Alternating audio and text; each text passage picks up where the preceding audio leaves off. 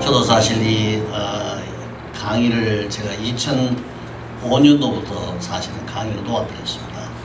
제가 중시대학교에서 어, 부총장을 거치고 2004년도 11월 말에 총장으로 비선되면서 제가 강의를 하지 않기로 제가 선언하고 어, 총장일에 몰두를 했습니다.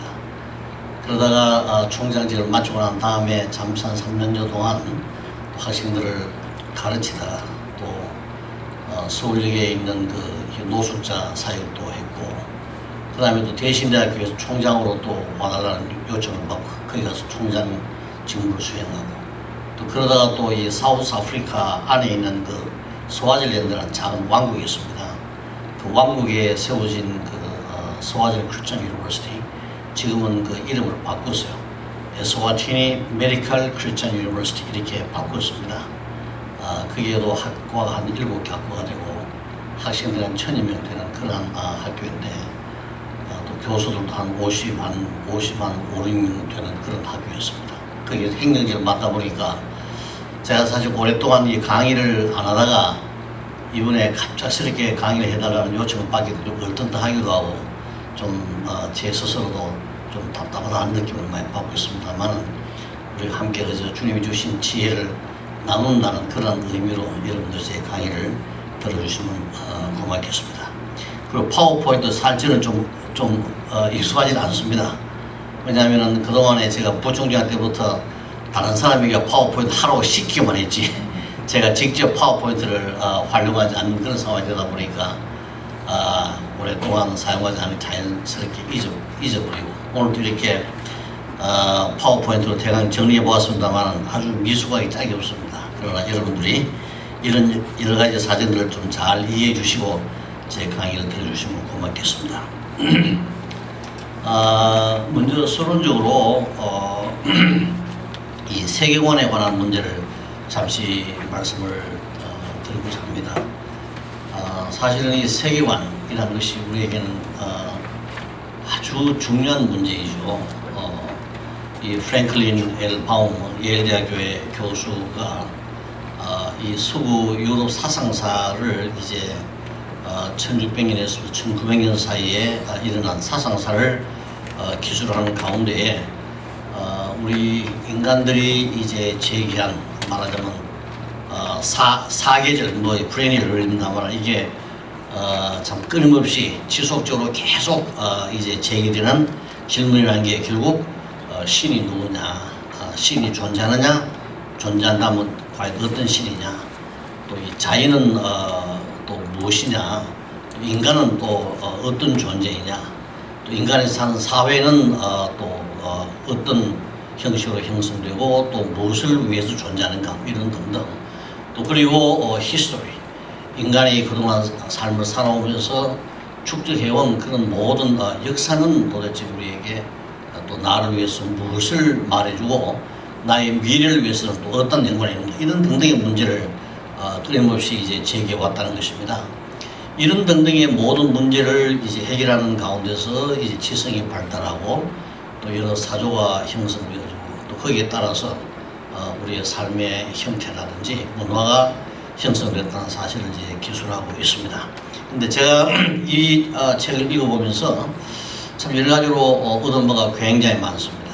어, 우리 신학에 관한 여러 가지 어, 이 사조라든지 흐름 이런 등등이 우연한 어, 우연하기라는 것이 아니고 이런 여러 가지 문제들과 함께 어, 결탁이 되어가지고 이제 발생한 것임을 인식하면서 어, 과연 어, 성경이 말하는 참된 어, 신학을 우리가 어떻게 정립해야 할 것인가 하는 문제를 한동안 깊이 생각을 해본 적이 있었습니다. 자, 이런 일련의 모든 문제들은 엄격히 말하면은 어, 나를 중심한 이 세계관의 어, 문제와 직결된다고 하겠습니다. 사실 저도 어릴 때부터 기독교 과정에서 늘 이렇게 어, 성경 말씀을 배우면서 또 매일마다 가정 예배 드리며 주일학교를 다니며 이렇게 생활해 왔습니다만 어, 과연 내가 누구냐라는 문제 또 내가 사는 이 세상과 나와는 어떤 관계 있는가 또 어, 과연 하나님과 어, 나는 또 어떤 관계냐 뭐 이런 등등의 문제를 깊이 어, 이 생각해 볼 겨를도 없이 그냥 그저 어, 어린 시절을 지내왔죠. 그러면서 이제 점차적으로 학년이 높아지게 되는 가운데 과연 어, 앞으로 나의 진로를 어떻게 결정해야 되느냐 등등의 문제가 제기되면서 상당히 심각한 고민에 빠졌더랬습니다. 무엇보다 저희 아버지가 이제 성경공 가정 예배를 매일마다 하루도 빠지지 않고 들었는데 심지어 부부간에 사고도 꼭 마지막 어, 마감은 이 가정 예배로 이제 끝냈습니다. 그 정도로 저희 아버지 아주 철저하게 이 가정 예배를 드리고 저희들에게 성경을 가르치고도 기도하게 하고 이렇게 하셨는데 늘 이제 강조하는 바가 뭐냐면은 어, 우리는 하나님이 선택한 어, 자들이다. 그러므로 하나님이 선택한 것에 따라서 인생을 사는 것이 올바른 인생이다. 이렇게 이제 강조를 하시는데 과연 내가 무엇이 되느냐라는 문제에 딱 봉자 됐을 때는 이거 정말 참 보통 심각한 문제, 문제 아닐 수 없었습니다. 뭐냐면은 하나님, 하나님이 나를 선택했다니 내 마음대로 미래를, 미, 진로를 결정할 수도 없고 또 함부로 결정했다는 하나님의 뜻과 언하면 내 인생 쫄딱 망하는 것이고 그렇다고 해서 과연 하나님이 또 무엇이 되도록 나를 선택했는지 알 수도 없고 그래서 뭐 기도도 열심히 해봤습니다만은 우리 할머니도 기도 많이 하는 분이라서 하나님 음성 들었다 그러고 우리 아버지도 그러는데 나는 암만 기도해도 음성이 들리질 않아요. 그러니 정말 참 제게는 어, 이, 어, 이 인생관에 관한 문제라든지 미래를 결정하면서 가지고 참 어, 심각한 딜레마에 빠져서 오랫동안 고민을 고민을 거듭한 그런 경험을 저는 가지고 있습니다. 그래서 어, 어쨌든 우리 목회자들이든지 우리 어, 사람이라면 누구나 다 어, 그야말로 이 세계관에 관한 문제를 좀 올바르게 정립해가지고 어, 나의 인생의 어, 비전을 먼저 설정하고 내가 누굴 위해서 무엇을 위해 살아야 되는가를 좀 확실히 결정하는 것은 어, 정말 어, 참 아주 중요하고 이런 문제를 빨리 결정할수록 그만큼 어, 우리 인생은 어, 또 효과적으로 어, 살 수 있다 저는 그런 결론을 내리고 있습니다. 제가 어, 이런 문제에 대해서 깊이 고민하고 고민하고 그러면서 어, 기도하는 가운데 하나님께 저에게 참 많은 정리해 주어서 바로 그때가 어, 제가 이 대학 2학년 때였습니다. 어, 그때 저는 군대를 제대하고 난 다음이라 좀 어, 나이가 든 그런 학생이었는데 어, 하도 이제 어, 학교 다니는 인생을 사는 게 괴롭고 또 고달프고 돈도 없고 미래에 대한 무슨 뭐 어, 진로를 결정할 수도 없는 이런 상황 속에서 어, 총신대회를 제가 다니고 있었죠. 친구들은 다 목사가 되겠다는 그런 소명의식 가지고 열심히 이제 공부하고 저는 그런 소명의식이 전혀 없었어요. 목사 되는 건 죽기만큼 싫었고 그런데 왜 총신 갔느냐 하도 형님들이 가도록 자꾸 나를 어, 끌고 가는 것도 어, 이유 중에 하나였지만 갈 데가 없어요 사실은 갈 데도 없었고 어, 또 어, 우리 큰형님이 눈이 어두워졌는데 어, 그제 초등학교 2학년 때 눈이 어두워졌어요. 그래서 그 이후로 성의학교를 다니고 어, 그리고 고등학교 1학년이었는데 학교를 그만두고 성의학교를 다니고 그 다음에 또 총신을 쭉 다니면서 항상 어, 방학만 되면 집에 내려 철을 붙들고 모든 공부를 이제 해- 했습니다. 그러다 보니 방학만 되면 저는 형님이 붙잡혀가 꼼짝도 못하고 말이죠. 놀러도 못 가고 성경 읽어주고 찬송 읽어주고 신학책 읽어주고 뭐 이런 걸 하다 보니 어느덧 이 신학이라는 게 굉장히 그 제 체질에 맞다는 생각이 좀 들었어요. 그래서 어, 신학 공부를 어, 위해서라면은 총신에 가는 것도 괜찮겠다 싶어서 가봤, 가봤지만은 제 학문적 욕구를 전혀 충족시켜주는 그런 상황도 되지 못했습니다. 그러다 보니 정말 참 어, 어, 죽기를 각오하고 하나님 앞에 무릎을 꿇고 어, 정말 주님이 원하시는 어, 길이 무엇인가를 알아야 되겠고 또 내가 무엇을 어떻게 할, 할 것인가를 참 하나님과의 깊은 교제를 통해서 확인하지 않으면은 내 인생은 그 아무런 의미가 없다는 그런 생각을 또 생각이 들더라고요. 그래서 한때 저는 어, 자살도 생각이 상당히 생각을 많이 보았게 됐습니다. 어, 이 숭실대학교를 이제 대학 앞에서 내려가지고 버스 이제 버스에서 내려가지고 한 40분 산등성 넘어야 우리 총신대에 갈 수가 있거든요. 그 산등성 넘어, 넘어가고 어, 오른대로 갈 때마다 이 자살이라는 게 상당히 참 어, 괜찮겠다는 생각이 들더라고. 왜냐 이 더 죄를 짓기 전에 어, 뭐 인생의 미래도 확실하게 보이지도 않고 진로도 결정할 수, 할 수 없는 이런 마당에 빨리 죽을수록 죄를 덜 짓지 않겠나 싶고 올해 하나님이 더 좋아하지 않겠다는 생각이 많이 들더라고요. 그러면서도 또 막상 자살을 결행하려고 어, 생각해 보니 하나님이 살인하지 말라고 그랬는데 내 스스로 목숨을 어, 끊으면 분명히 나는 천국도 못 가고 지옥 가겠다는 생각이 들기도 하고. 뭐 이런 복잡한 그런 어, 갈등을 이제 겪으면서 어, 지냈던 시절이 바로 저의 어, 대학 2학년 때까지 생활이었습니다. 어, 군대 가서도 뭐 이 문제를 놓고 그렇게 생각도 많이 하고 어, 해봤지만 뭐 결국 하나님께서 제가 기도하는 동안에 저에게 많은 것을 정리해 주었고 어, 저로 하여금 어, 참 올바른 하나님과의 관계를 정립하게 만들어주기도 했습니다. 특별히 국가와의 관계에서가 제게는 참 아, 상당히 문제가 아, 있어서요. 하나님을 사랑한다는 것과 애국한다는 것은 어떻게 어, 조화될 수 있는가라는 문제. 또 군대 가서도 어, 사실은 어, 이 군대가 그야말로 범죄 소굴이잖아요. 여러분 다 아시다시피 어, 모든 게 도둑질이고 오늘도 뭐 제가 유튜브를 보니까 북한에서 이 군인들이 어, 이 도둑질부터 먼저 배운다 그러더라고. 사실 우리도 훈련병 때 도둑질부터 먼저 배웠어요. 사실. 그리고 뭐 너무 부조리한 그런 상황을 상황에 직면하면서 신학도로서 과연 어, 이 생활을 어떻게 어, 해결할까? 군대를 탈령할까? 아니면 군대에 있으면서 같이 죄를 어, 어, 지어야 되는가?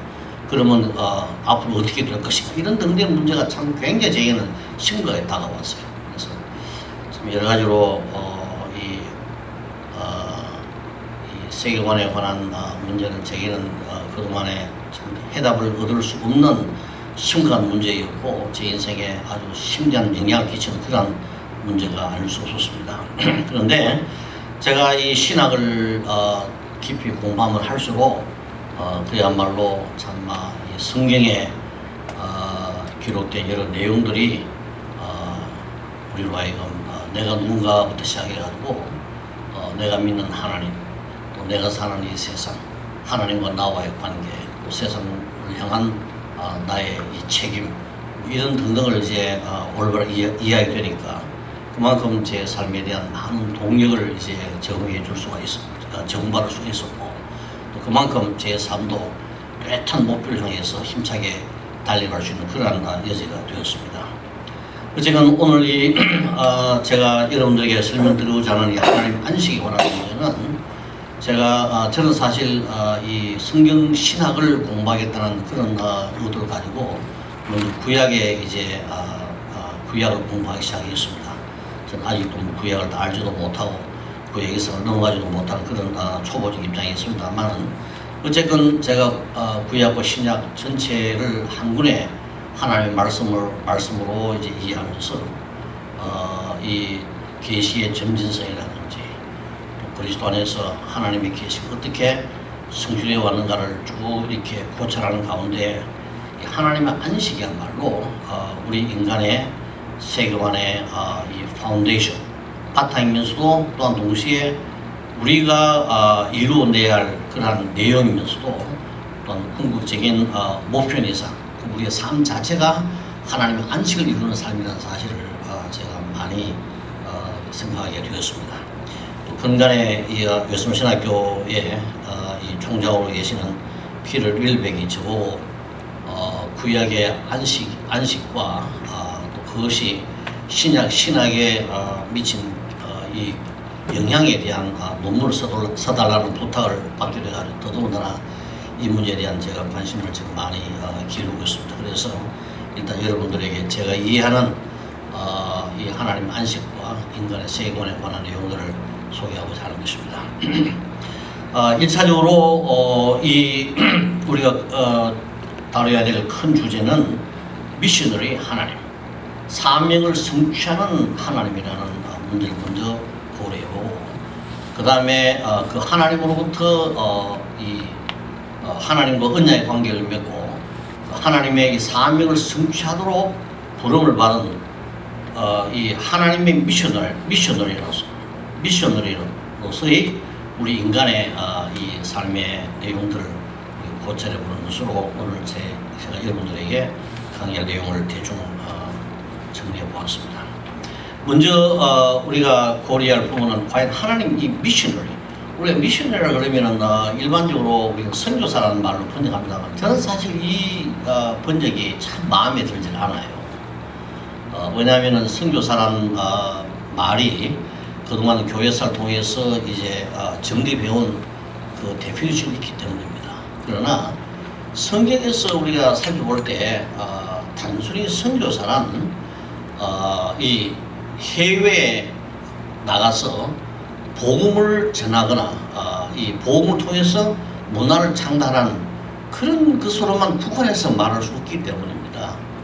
어, 하나님의 이 미션은 그야말로 전 우주적이면서 또그 어, 미션을 성취하는 어, 자로서 우리를 이제 언약의 관계를 통하여 이제 결속을 시키고 또 우리에게 그 책임을 부여함 이런 모든 하게 하신 내용을 살펴보면은 우리가 결코 어, 그런 그 이 제한된 의미로서 어, 이 미셔너리를 사 미셔너리라는 의미를 사용해서는 안 된다고 제가 인식하기 때문, 때문인 것입니다. 최근에 아, 이 크리스토프 크리스토퍼 어, 라이트인가 영국의 그 이 신학자 이분이 어, 어, Mission of God이라는 그런 책을 아마 책 이름이 목사 맞죠? Mission of God 크리스토퍼 라이트 아, 이분이 쓴 그 미션에 관한 책을 읽어보면은 어, 방금 제가 말씀 이런 문제에 대해서 아주 설명을 잘해주고 있더라고요. 혹시 여러분들이 나중에 시간 되시면 참고해 보시면 좋겠습니다. 자, 어, 하나님이 이 어, 스스로 이제 어, 이 사명을 어, 설정해 가지고 성취한다. 사실 이 말은 어떤 의미에서는 어, 꽤 우리에게 생소한 어, 이제 어, 개념일 수도 있는 것입니다. 그래서 우리가 먼저 어, 이 부분을 이해하기 위해서 이 목적과 목표에 관한 문제를 잠시 한번 생각해 봐야 할 것 같습니다. 이 목적이란 아, 여러분들이 사실 우리가 목적 목표라는 말을 사용하면서도 사실 어, 동의어로 사용하면서도 또 그 사이에 있는 어, 이 차이점을 충분히 고려하지 않는 경우들이 참 많지요. 그리고는 목적과 목표를 혼용해서 막 사용하는데 엄격히 이제 아, 따져보면 이 목적과 목표 사이에는 상당한 차이점이 있다는 것을 우리가 알, 아, 알고 있습니다. 목적이란 우리들이 성취하고자 하는 방향 혹은 관역, 이유, 이유 등에 대한 진술이 이제 어, 목적에 해당되는 부분이 되겠죠. 어, 그러나 이러한 목적은 어, 어떤 수치적으로 측정해야 될 그런 필요성은 사실 없습니다. 어, 왜 우리가 어, 무엇을 하는가에 대한 부분이 바로 이 목적에 해당하는 부분이 되겠죠. 그리고 이 목적은 어, 또 한편 우리들의 이 비전 혹은 사명을 이제 구성한다고 한다고 할 수 있겠습니다. 반면에 이 목표란 것은 미래의 어떤 시점에 우리들의 바라는 바가 어떻게 될 것인가를 진술하는 것이 어, 목표라고 할 수 있겠습니다. 이런 면에서 이 목표는 우리들의 믿음의 진술, 우리가 바라는 것들에 대한 아, 현재적인 진술이 바로 이제 목표라 그렇게 우리가 볼 수 있겠죠.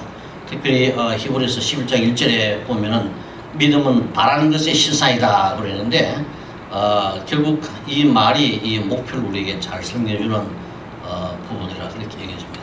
그리고 이 목표는 어, 반드시 수치적으로 어, 측정이 되어지는 것이야만 합니다. 어, 내가 무엇을 이룬다 그럴 때 언제 얼마만큼 이룰 것인가 이런 부분들 이것이 반드시 이제 아, 설정이 돼야 아, 그것이 올바른 목표가 될 수가 있겠죠. 제가 예문을 들어봤죠. 들어봤습니다. My purpose is to uh, speak fluent English. My goal is to uh, spend at least two hours a week studying English. 어, 내 목, 목적은 무엇인가? 영어를 이제 아, 그 유창하게 하는 아, 것이 내 목적인데 내 목표는 뭐냐? 이거를 성취하기 위해서 매일마다 두 시간씩 영어를 공부하는 것이라. 그래서 결국 어, 6개월 후에 나는 어느 정도의 어, 영어 어느 정도로 영어를 잘할 수 있도록 해야 된다. 아니면 1년 후에는 어, 얼마만큼, 뭐 2년 후에는 이런 식의 어떤 측정이 가능한 방향으로 어, 이제 목표는 반드시 설정되어져야 한다는 것입니다. 그런데 어, 이 하나님의 이 존재를 하나님의 하나님께서 하시는 일들을 보면은 하나님께서도 반드시 목적과 목표를 성취하시는 분이심을 우리가 알 수가 있습니다. 우리가 믿는 하나님은 영이시, 어, 영이시죠. 그러나 영은 어, 추상적인 그런 어, 존재가 아니라 말씀하시는 어, 분이고 또 자기를 어, 계시한 입질된 존재인 것입니다. 그래서 이 하나님은 어, 스스로 구체적인 목적과 목표를 설정해서 그것을 성취하는 분임을 성경 우리에게 분명하게 말씀해 주고 있습니다.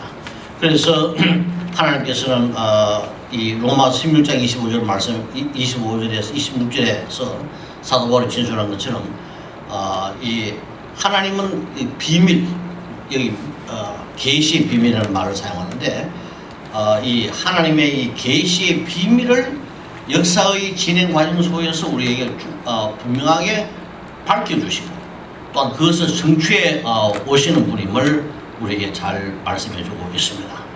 에베소 3장 어, 2절에서 3절의 말씀이라든지 어, 역시 마, 마찬가지입니다. 에베소 1장 9절에서 10절 말씀도 보면은 어, 하나님께서 이제 어, 하시는 어, 일들이 추상적이거나 그냥 그저 어, 아무런 계획 없이 하나님의 기분 내킨다고 하는 것이 아니라 이미 어, 이 창조의 창조의 활동에서부터 목표를 설정해 놓고 목적과 목표를 설정해 놓고 역사의 진행 과정 속에서 어, 이 많은 이 히브리서 어, 이 일장에 있는 것처럼 말이죠. 여러 부분으로 여러 모양으로 우리에게 말씀하시다. 결국 최종적으로 어, 그의 아들 예수님을 통해서 성취하신 이런 어, 부분들을 우리에게 어, 잘 말씀해 주고 있습니다. 어, 그리고 해- 사도행전 어, 20장 20, 27절의 말씀 보면은 어, 하나님의 이 어, 토들 카운슬 하나님의 전체적인 뜻 뭐 이런 어, 이제 표현도 나옵니다.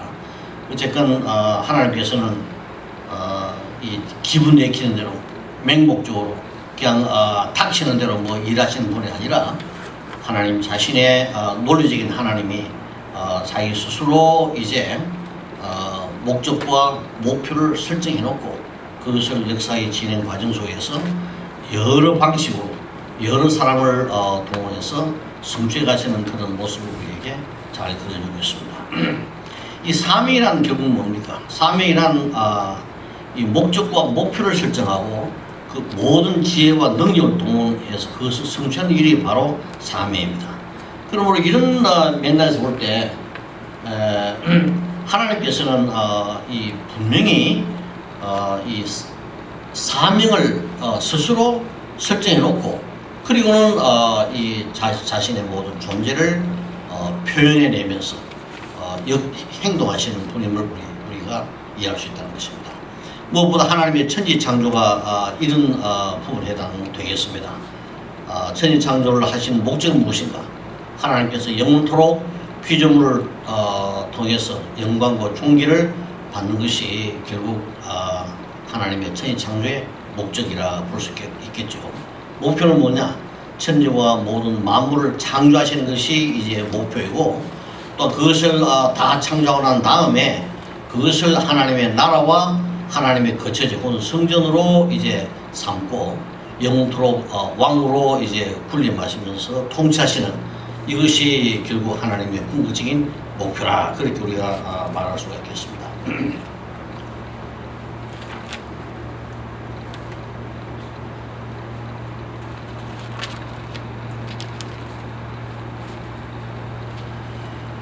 이 하나님의 창조에 어, 창조하시는 하나님의 모습을 좀 더 우리가 살펴보면은 먼저 이 하나 창조 하나님은 건축가이심을 우리가 알 수가 있습니다.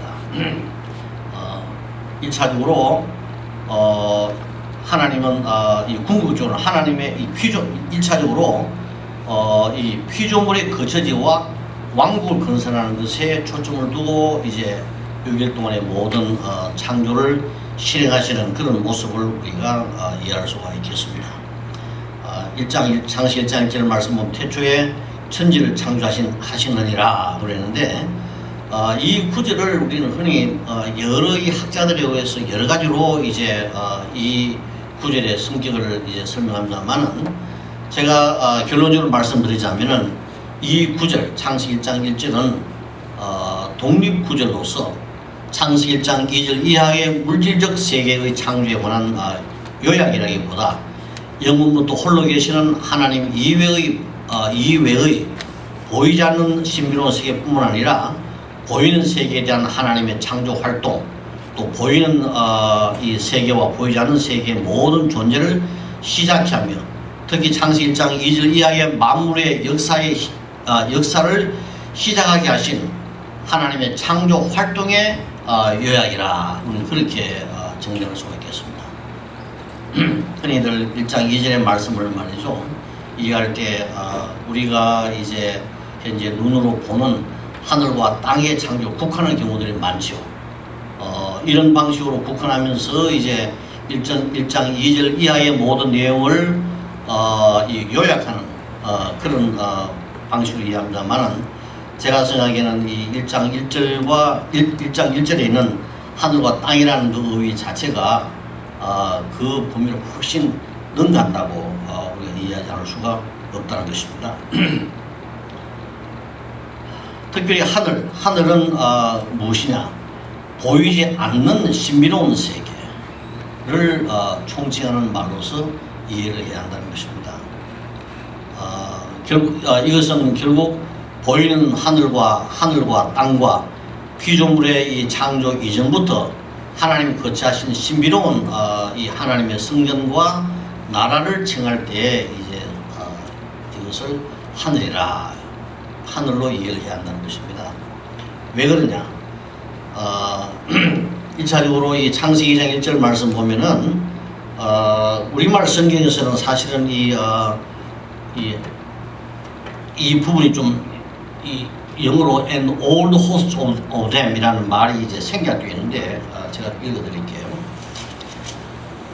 우리 한글 성경에서는 천지와 만물이 다 이루어지니라 라는 말로 이제 어, 번역했습니다만 성경 원문 자체는 어, 천지와 만물이 다 이루어지되 어, 이 그들의 이, 호, 모, 이 all the hosts 이걸 뭐 뭐라고 번역할지 모르겠습니다만 어, 그 안에 이 하늘과 땅의 모든 어, 만군들을 다 창조했다. 뭐 이런 어, 이제 어, 내용으로 어, 성경 원문이 기록하고 있다는 것입니다.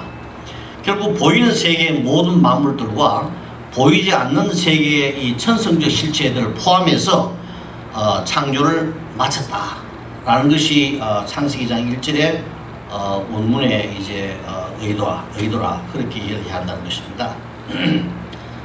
하늘에 하늘 이 하늘은 어, 그야말로 뭐 공중의 새남 이런 정도로만 어, 말할 것이 아니라 엔젤릭 호스트 하나님의 이 보좌 주변에서 어, 영원부터 이제 하나님의 하나님을 항상 어, 이제 참여하며 수중 들던 바로 그 이 천군 천사들의 어, 천사들조차도 이제 모든 창조를 다 이루었다 이제 그런 어, 의미로 이해를 해야, 해야 되고 또한 어, 이 우리가 현재 어, 이 물질의 세계로 이루어진 하늘과 땅에 있는 모든 삼라만상 모든 존재들 모두가 다 이제 어, 하나님께서 창조하셨다라는 의미로 어, 2장 1절의 말씀을 이해해야 한다는 것입니다.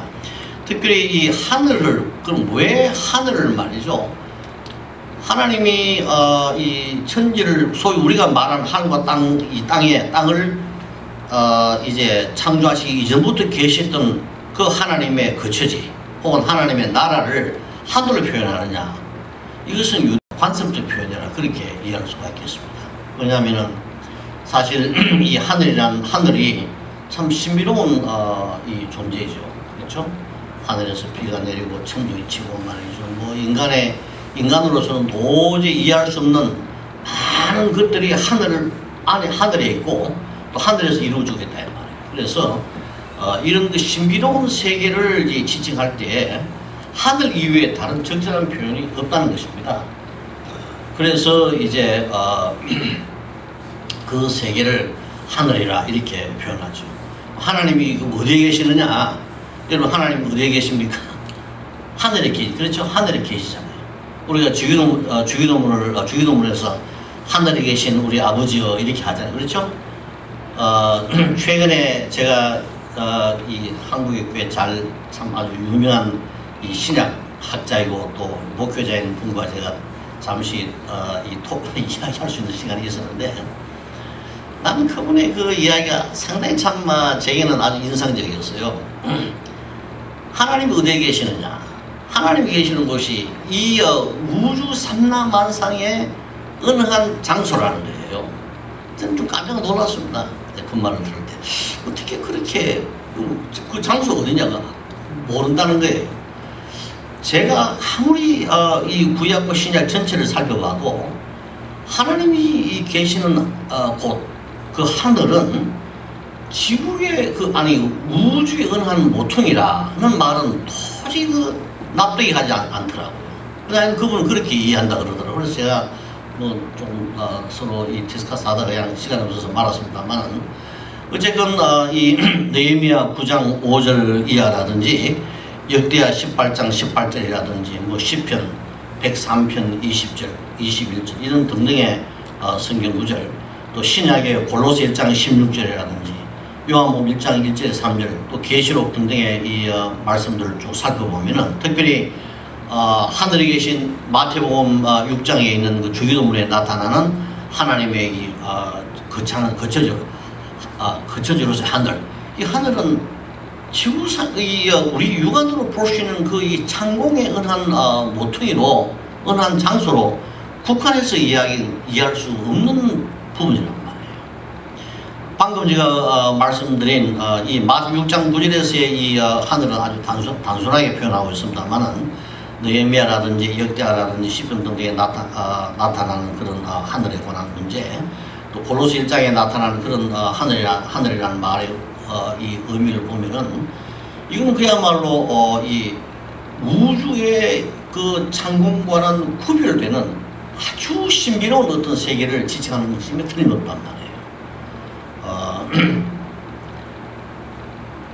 그리고 이 창세기 1장 1절은 어, 이 잠언 8장 22, 22절에서 왔지 하나님은 보이는 세계와 보이지 않는 세계 어, 이전부터 영원토록 존재하시는 어, 존엄의 왕이시며 유일한 창조인물 또 어, 강조해 어, 주고 있다 이 말씀이에요. 그래서 우리가 1장 1절에 이 하늘이라는 말을 이해할 때 어, 단순히 어, 이 피조의 세계 어, 하나님께서 이 물질로 만드신 그 하늘과는 어, 이 구분된다는 것을 우리가 좀 인식을 해야 되겠다. 저는 그렇게 강조하는 부분, 강조하는 바입니다. 그 다음에 땅이란, 땅이란 이 하늘과 땅을 창조했다 그러는데 이 땅은 하늘을 포함한 어, 보이는 세계, 즉 하나님이 말씀으로 창조하신 물질의 세계를 총재한 것으로 이해를 해야 한다는 것입니다. 어, 1장 2절에 보면은 이 땅의 초기 모습이 이제 등장합니다. 어, 세례주의자들은 1장 2절의 모습, 어, 1장 1절과 2절 사이에 상당한 어, 기간이 이제 지나갔다고 주장을 하고 있죠. 어, 그리고 어, 그 기간 동안에 천사들의 이 타락을 이제 예상, 어, 이제 어, 삽입을 시키고 그 천사들의 이 타락에 대한 하나님의 이 저주의 결과로서 이제 땅이 어, 혼돈하고 공허해졌다 이렇게 이제 어, 주장합니다만은 사실은 그 부분에 관한 하는 어, 히브리 문법이라든지 기타 성경 전체 내용과는 전혀 어, 이제 조화를 이룰 수 없는 어, 주장이기 우리는 받아들이지 않습니다. 어쨌거나 이 1장 2절은 어, 1장 1절에서 하늘과 땅을 하나님이 태초에 창조하셨다고 말씀하시고 난 다음에 그 땅의 모습이 무엇인가를 지금 어, 이 묘사적으로 어, 그려주는 어, 내용이라 그렇게 우리가 보지 않을 수가 없는 것입니다. 어, 그리고 이 혼돈과 공헌한 것은 뭘 말하느냐? 피조물이 거주하기에 적합하지 않는 상태, 저주받은 상태로서의 이 혼돈과 공헌하기보다는 어, 피, 어떤 피조물들이 어떤 피조물 피조물들도 거주하기에 적합하지 않는 상태로 어, 이 어, 물질의 형태가 나타났다. 그것도 이제 어, 이그 일장 어, 이전의 말씀 보면 말이죠. 하나의 거대한 물방울, 물방울. 이 어, 거대한 물체가 이제 형성되었는데 그 이 형성된 어, 물체의 그 표면에 결국 이제 어, 물이 덮여 있다는 거예요. 그래서 우리가 이런 어, 어, 내용을 말이죠. 하나의 어떤 어, 이 그림을 그린다면 물방울로 그, 그릴 수가 없지 않겠어요? 어, 물, 이 하나의 거대한 어, 이 물방울처럼 그렇게 물 그 속에는 뭐 온갖 게 모든 게 이렇게 다 정돈되지 않은 상태에서 이제 어, 엉켜 있는 이런 상황으로 우리가 어, 그려볼 그릴, 그릴 수가 있다. 하여튼 그렇게 봅니다. 자, 바로 이 땅에서 이 하늘과 바다와 육지가 아, 하나님의, 하나님의 이 나눔의 이 활동을 통해서 이제 창조되겠다는 것을 어, 이 창세기 1장 2절 이하의 이 창조의 모든 기사에서 우리에게, 우리에게 잘 설명해 주고 있습니다. 먼저 이 창세기 1장 6절에서 8절 말씀, 보면, 말절, 말씀 보면은 둘째 날의 창조 활동을 어, 설명하고 있는데 어, 여기에서 하늘이 생성되고 있음을 어, 말씀하고 있습니다. 1장 2절에 물을 나누어서 어, 궁창 위의 물과 궁창 아래의 물이 존재케 하고 그 궁창을 하늘이라 불렀다 그랬습니다. 어, 그래서 1장 이 1장 어, 1절에 있는 그 이 하늘도 히브리어 그, 그 히브리어와 어, 이 땅에서 이제 땅을 말이죠. 이렇게 첫째 날은 빛과 어둠으로 나누고 어, 둘째 날은 어, 이 물을 이렇게 반 나눠 가지고 그 나눈 사이 공, 이, 이 공간에 생긴 그 공간을 어, 궁창, 궁창 그 공간을 하나님이 이제 하늘이라 그렇게 부르는 똑같은 단어라 이 말이에요. 그러므로 어, 1장 1절과 이제 어, 1장 1절에 하늘과 땅이라 그럴 때이 어, 하늘이 결국 이, 어, 이 땅에서 이 하나님이 하나님이 창조하신 그 어, 물론 신비로운 세계 하나님이 어, 창조하신 거지만 보이지 않는 하나님 창조하신 것이지만은 물질로 이루어진 어, 이 하늘도 역시 땅에서 이제 비롯됐다는 사실을 우리에게 잘 보여주고 있습니다.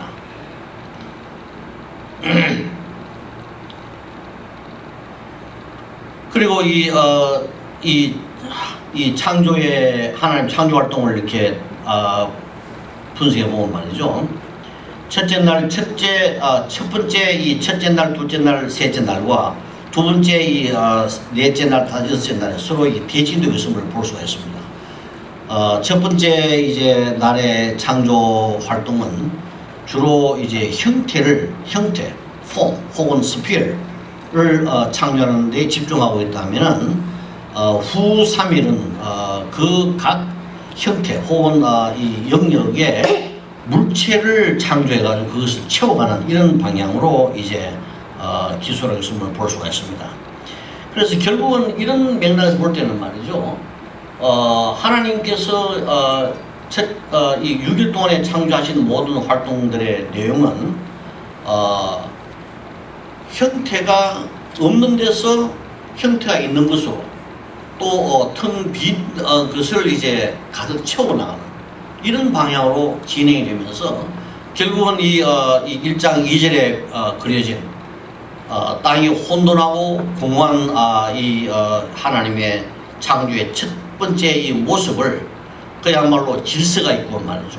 모든 어, 피조물들이 어, 그 속에 거주하기에 아주 적합한 그런 어, 상태로 이제 어, 만들었음을 우리에게 보여주겠다는 것입니다. 바로 이런 맥락에서 하나님께서는 어, 피조물의 거처지를 짓는 방향으로 하나님의 모든 창조 활동이 이루어졌다고 일단 우리가 볼 수 있겠죠. 그러나 그 다음에 어, 2장 1절에서 3절의 내용을 살펴보면은 하나님의 창조 활동은 어, 단순히 이제 피조물의 거처지를 짓는 것으로만 국한되지 아니하고 결국 그것을 하나님의 궁극적인 자신의 거처지 혹은 어, 자신의 왕국으로 이제 정착하는 데 초점이 어, 맞춰져 있음을 우리가 알 수가 있다는 것입니다. 어, 2장 1절에서 3절의 이 내용의 어, 말씀 속에서 천지와 만물이 다 이루니라. 그리고 또 뭐 그 이외에 어, 그게 이 어, 변경되는 여러 가지 말씀들을 계속하고 있죠. 하나님이 그가 하시는 어, 일을 일곱째 날에 마치시니 그가 하시는 모든 일을 그치고 일곱째 날에 안식하시니라 이런 어, 말씀이 나오는데 이런 그 말씀의 이 중요한 그 키 중심적인 의미가 뭐냐면은 어, 이 히브리어로 한 단어입니다. 한 단어. 그게 뭐냐면은 어, 이, 어, 이 히- 아카리라는 단어인 이 단어는 뭐냐면은 말이죠. 이, 화, 이 어, 접시에 있는 모든 음식을 하나도 남김없이 완전히 다 핥아먹은 이 상태를 우리에게 그려주는 어, 이 동사가 바로 마친다라는 말에 이제 어, 해당하는 어, 단어인 것입니다. 또 한편 어, 신명기 32장의 말씀 보면은 어, 전통의 화살에 많이 보시는데 이 화살을 뽑아가지고 하나도 남김없이 다 소화된 상태를 표현할 때 사용하는 바로 의미가 어, 창세기 2장 1절에서 3절에 나타나는 중심적인 의미라는 것입니다. 이것이 그러므로 어, 이 어, 하나님께서 사실은 모든 창조 활동을 하나도 남김없이 완전히 끝낸 상태이기 때문에 하나님이 안식했다. 이런 이제 결론을 내릴 수가 있겠죠. 그래서 어, 이런 맥락에서 볼 때 이 하나님의 안식은 어, 하나님의 모든 창조 활동의 어, 완전한 이 어, 완성을 어, 말을 어, 그려주는 것이다. 그렇게 우리가 볼 수 있겠습니다. 그럼 하나님은 더 이상 어, 이제 창조해야 할 어, 요소가 전혀 없다는 것을 우리에게 말씀해주고 있는 것이고 그래서 하나님의 안식을 단순히 그냥 일하다가 잠시 쉬는 것으로만 제한적으로 사용, 사용할 것이 아니고 하나님의 안식은 궁극적으로 하나님이 창조해야 할 자신의 모든 일을 다 끝낸 결과로서 안식한다는 사실을 우리가 받아들여야 된다는 것입니다. 오늘날 어, 이 종교사학파라든지 기타 이 어, 창세기의 내용을 말이죠 신화적인 안목으로 이해하는 사람들은 어, 그렇게 보지 않습니다. 어, 이, 이 고대 근동의 창조 신화라든지 이런 등등을 보면 말이죠 창조의 활동은 악신과 선신 간의 이 투쟁의 어, 결과로 보는 것입니다. 그래서 여전히 오늘날 또 어, 이제 이 악이 존재하기 때문에 선한 신이신 하나님이 지금도 악과 싸우고 계시다고 보는 거예요. 그래서 하나님의 창조 활동은 끝난 것이 아니라 온고잉 상태라 이렇게 주장하는 사람이 있습니다만 이것은 전혀 어, 이 성경의 내용과 부합되지 않는 이제 잘못된 이론이라 그렇게 이해를 하셔야 되겠죠. 어쨌건 하나님이 창조하시기로 의도한 모든 것을 완벽하게 끝을 냈다는 것이 소위 하나님의 안식, 하나님 안식하시니라 안식하신 어, 이 상태를 말해주는 것이, 것이라. 그래서 하나님의 안식과 완성은 어, 불가분의 관계 있음을 우리가 이런 방식으로 이해를 해야 될 것입니다. 그 다음에 하나님 안식은 또한 동시에 이 왕위 등급과도 매우 밀접한 어, 관련을 가지고 있다는 것입니다. 종종 이 안식과 이 통치의 문제가 이제 성경에서 어, 이 아주 밀접하게 연관되어 있음을 볼 수가 있습니다. 특별히 어, 이 출애굽의 이 사건을 통해서 보면 말이죠. 어, 하나님이 어, 이 요소와 이스라엘 민족을 활용해 가지고 어, 이 가나안의 모든 이 어, 왕들을 죽이고 그 땅을 정복했습니다. 그리고는 어, 이스라엘 민족을 그 가나안 땅에 거하게 살도록 만들었다 이거죠. 이것을 어, 뭐라고 말하느냐? 아, 하나님이 이스라엘 민족에게 안식을 주셨다 그렇게 말씀하고 있어요. 그래서 결국 어, 이, 어, 완, 이 이스라엘 민족의 통치가 이 가나안 땅에 어, 시행되었다는 사실을 말해줄 때에 이것을 안식을 주었다고 말하고 있다 이 말이에요. 그 다음에 이제 예수님께서 말이죠 어, 죽음을 정복하고 사탄의 모든 어, 어, 정복하고 어, 하나님의 나라를 이 땅에 세우시면서 왕으로 등극해서 통치하는 바로 상태를 말할 때 어, 다른 말로 뭐라고 표현하느냐 어, 예수님이 안, 영원한 안식에 들어가셨다 이렇게 표현하고 있다 이 말씀입니다. 그래서 결국은 어, 이 하나님의 안식과 하나님의 이 왕위 등극은 이런 맥락에서 아주 어, 밀접한 관계있다고 볼 수가 어, 봐야 되겠죠. 그래서 결국 어, 이 2장 1절에서 창세기 2장 1절에서 3절의 말씀에 이 어, 말씀을 그림으로 그리자면은 결국 뭡니까? 하나님이 어, 피조의 피조물의 모든 어, 이 거처지로 이 천하를 다 창조하고 난 다음에 결국 하나님 자신이 어, 왕으로 등극해가 그것을 그의 궁굴로 삼고 거기에 하나님 보좌를 설치해 가지고 어, 이 어, 영원토록 이제 통치하는 그 통치를 시작했다는 일종의 어, 이 하나님의 공식적인 이 어, 왕위 등극 등극의 어, 이 행위가 결국 하나님이 안식하는 행위와 일치한다. 그렇게 우리가 말할 수가 있겠죠. 이게 여러분 설명이 좀 됩니까? 좀 아마 여러분이 생소한 아, 이 말일지도 모르겠습니다만은 어, 어쨌건 하나, 안식을 안식, 한, 이 안식을 주신다. 이스라엘 민족 안식 안식 줬다는 말은 그냥 그저 정부 하다가 뭐 좀 쉬라 이런 정도가 아니고 결국 어, 이, 어, 이 가나안 땅을 정복을 한 다음에 이스라엘 민족의 이 통치가 시행되게 했다는 사실을 어, 다른 말로 어떻게 표현합니까? 이스라엘 민족의 안식을 주었다. 그런 말이에요. 예수님이 어, 죽음을 이기시고 하나님 보좌 우편에 앉으셔서 온 세상을 통치하시는 바로 상태를 가리킬 때 뭐라고 말하냐? 안식에 들어가셨다. 이렇게 말씀하신단 말이에요. 결국 어, 그도 말씀드리면은 2장 1절에서 3절에 하나님 안식했다는 말은 하나님이 피조 피조물의 어, 거처지로 어, 이 어, 만드신 우주 전체를 하나님 자신의 궁굴로 삼고 공식적으로 어, 이제 거기에다가 하나님의 이 보좌를 설치해 가지고 거기에 좌정하시면서 결국 어, 하나님의 모든 피조 세계를 통치하신다는 사실을 이제 나타내는 것이 하나님의 안식이라 그렇게 우리가 이해를 해야 한다는 것입니다. 그 다음에 이, 어, 이 하나님의 이 안식과 또 성결의 문제가 어, 이제 또 연관이 되고 있다는 거죠. 어, 창세기 2장, 2장 어, 여기 3절 말씀 보면은 하나님이 그 일곱째 날을 복되게 하사 거룩하게 하셨으니 그랬습니다. 이는 하나님이 그 창조하시 만드시던 모든 일을 마치시고 그날에 안식하셨습니다. 그러므로 결국 하나님이 안식하신 7일째 날을 6일과 이 구분, 분리해가지고 그 날을 따로 세웠다는 이야기입니다. 왜 따로 세우느냐? 어, 오늘 이 창세기 2장 1절에 3절의 내용 자세에서는 그것은 어, 구체적으로 다 설명하지 않습니다만은 성경 전체 어, 이 내용을 이제 어, 종합해서 어, 말씀드리자면은 그날을 따로 구별해 가지고 결국은 뭡니까? 인간으로 하여금 어, 하나님께 나와서 경배하게 하는 날로 이제 세웠다는 거죠. 어, 이런 맥락에서 말이죠. 결국 어, 하나님께서는 어, 이 7일째 날을 자신을 위한 날뿐만 아니라 또한 어, 그가 창조한 인간의 이 어, 인간을 위한 날로도 이제 창조했다는 것입니다. 어, 이 안식 어, 안식일을 세웠다는 것입니다. 결국 어, 나중에 제가 말씀드리겠습니다. 하나님께서 우리 인간과 언약의 관계를 맺고 어, 인간으로 하여금 어, 땅을 채우고 땅을 정복해야 할 이제 책임을 부여했습니다. 그래서 어, 인간이 부지런히 6일 동안 말이죠. 어, 이제 일하다가 7일째는 그 모든 일을 중단하고 하나님께서 하신 것처럼 그 일을 중단하, 중단하고 하나님 앞으로 다 나아와서 말이죠.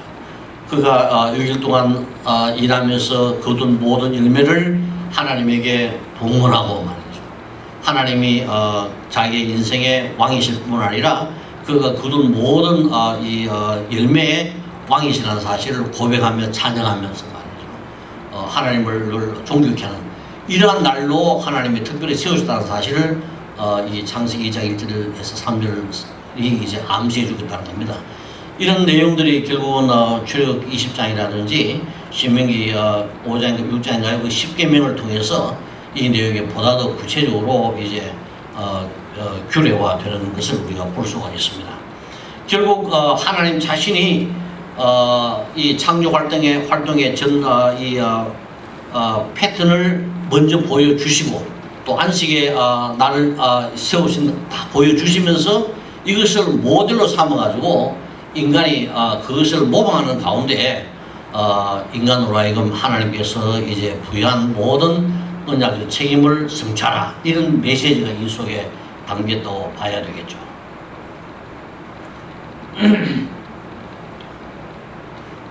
자 이렇게 어, 결국 이 하나님께서 하신 일들을 분석해 보면은 하나님께서는 천지 창조를 그냥 단순하게 어, 하나님께서 뭐 어, 아무런 계획도 없이 또 어떤 따다심 받은 목, 어, 목표를 세우는 것도 없이 그냥 그저 어, 이제 어, 창조하신 것이 아니라 하나님이 스스로 이제 어, 6일 동안의 창조를 어, 통해서 자신의 거처지를 만들고 또 어, 자신의 왕국을 이제 어, 확정하고 어, 이것을 어, 이제 어, 더 어, 말하자면 영광스럽게 하고 어, 그것을 어, 영원토록 어, 영광스럽게 하고자 하는 이런 하나의 의도로서 이제 어, 천지를 창조하시고서 이제 창조의 모든 사역을 마치신 것으로 그렇게 우리가 이해할 수가 있겠습니다.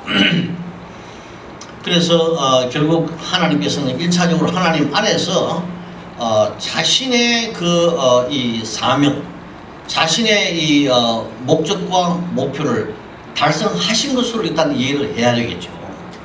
그러나 아, 그것으로 하나님께서는 만족하지 아니하시고 어, 그가 세우신 그 어, 하나님의 성전, 하나님의 왕국을 보다 더 영원토록 영화롭게 하는 바로 거기에 이제 어, 더 궁극적인 어, 이제 목표를 두고 있다는 사실을 어, 우리는 창, 인간의 창조를, 창조를 통해서 우리에게 잘 보여주고 있다는 것입니다.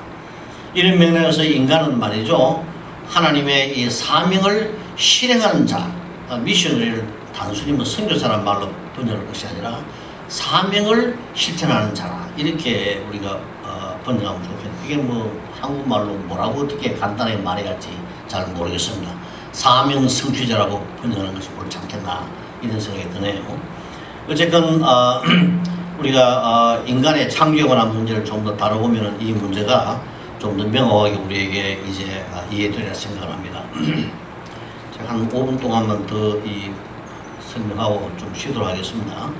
자, 아, 성경에 보면은 아, 하나님이 인간을 창조할 때 하나님의 형상에 따라 창조했다는 사실을 말씀해 주고 있습니다. 이것도 보면 말이죠. 여러분들 어, 창세기 1장 1절에서 25절까지의 이 어, 하나님이 창조하신 그 모든 내용을 기록하는 그이 톤과 1장 26절에서 인간을 창조하시는 그 톤을 서로 비교해봤을 때 엄청 현격한 차이가 나, 나타납니다. 1장 1절에서 어, 이제 어, 1장 25절까지는 그냥 만물을 창조하시는 것으로 이제 쭉 설명해 가는데 26절에 딱 이를 보면 말이죠. 하나님이 일종의 어떤 그, 어, 이 회의를 열어가지고, 어, 토의하는 그런 장면을 우리에게 보여주고 있다는 거죠. 예? 그러면서, 자, 우리가 지금까지 어, 하늘과 땅을 다 만들고, 그 안에 어, 들어갈 모든 만물을 다 만들어서 지금 채워 나갔다. 앞으로 어떻게 할 것이냐. 어, 이것을 지속적으로 채우고, 이런 모든 것을 잘 다스려가지고, 우리, 어, 우리 하나님의 그 왕권이 피조물의 모든 세계 속에 어, 잘 스며들어가지고 말이죠. 모든 피조물이 항상 하나님께 순종하면서 하나님의 통치 아래 하나님을 영원롭게 하도록 해야 할 텐데 우리가 직접 할 것인가? 아니면은 어, 우리 어, 우리를 닮은 우리의 형상과 모양에 따라 사람을 만 할 것인가? 이런 그이 어, 주제를 놓고 토론하는 그런 토의하는 그런 장면을 우리에게 보여주겠다 이 말이죠. 바로 이런 그 어, 내용의 그 어, 내용을 분析어, 내용을 통해서 말이죠. 하나님께서 인간을 결코 맹목적으로 창조하지 않았다는 사실을 우리에게 잘 보여주고 있습니다. 다른 무슨 뭐 이 동물나 어, 다른 식물처럼 말 종류들 창조한 것도 아니고. 하나님이 확실히 어, 이 남자와 여자를 창조할 때는 자신의 형상과 모양에 따라 특별한 의도를 가지고서 그에게 사명을 부여하고자 하는 그런 하나의 어떤 어, 이 계획 속에서 인간을 창조했다는 사실을 우리에게 잘 보여주고 있는 것입니다. 아, 여기 하나님의 형상과 모양에 따라 창조했다고 그랬는데 이 형상과 모양이라는 이 두 단어는 아, 사실 아, 서로 다른 단어이죠. 그러면서도 성경적으로는 상호 교우적으로 사용 아, 사용되면서 특별히 구별된 의미가 없다는 것을 우리가 먼저 주목을 해야 됩니다. 아, 그러면서도 어, 형상과 모양이라는 이 어, 어, 말이 그 용어의 이 뉘앙스에 따라 이 강조점을 좀 달리합니다. 어, 형상은 원형을 대표하거나 통치 기능을 강조하는 반면에 모양은 복사품으로서의 닮음을 강조하면서 오리지널과의 이 원형과의 구별을 강조하는 데에 이제 어, 더 이제 초점이 맞춰지 맞춰져 있다는 것입니다. 특별히 고대 근동에서 어, 이 형상이라는 의- 단어는 말이죠 신을 대표하는 대표하는 자로서 이 왕을 지칭하는데 흔히 이 단어가 사용되곤 사용되곤 했다는 것입니다. 그러나 성경에서는 아, 특별한 왕만을 이제 형상이나 하나님 형상으로 지음받았다고 설명한 것이 아니라 모든 인간이 하나님의 형상으로서 하나님을 대표하는 아, 그런 왕적인 존재임을 강조하고 있다는데 아, 그 의의를 우리가 아, 둬야 둬야 돼 둬야 된다는 것입니다.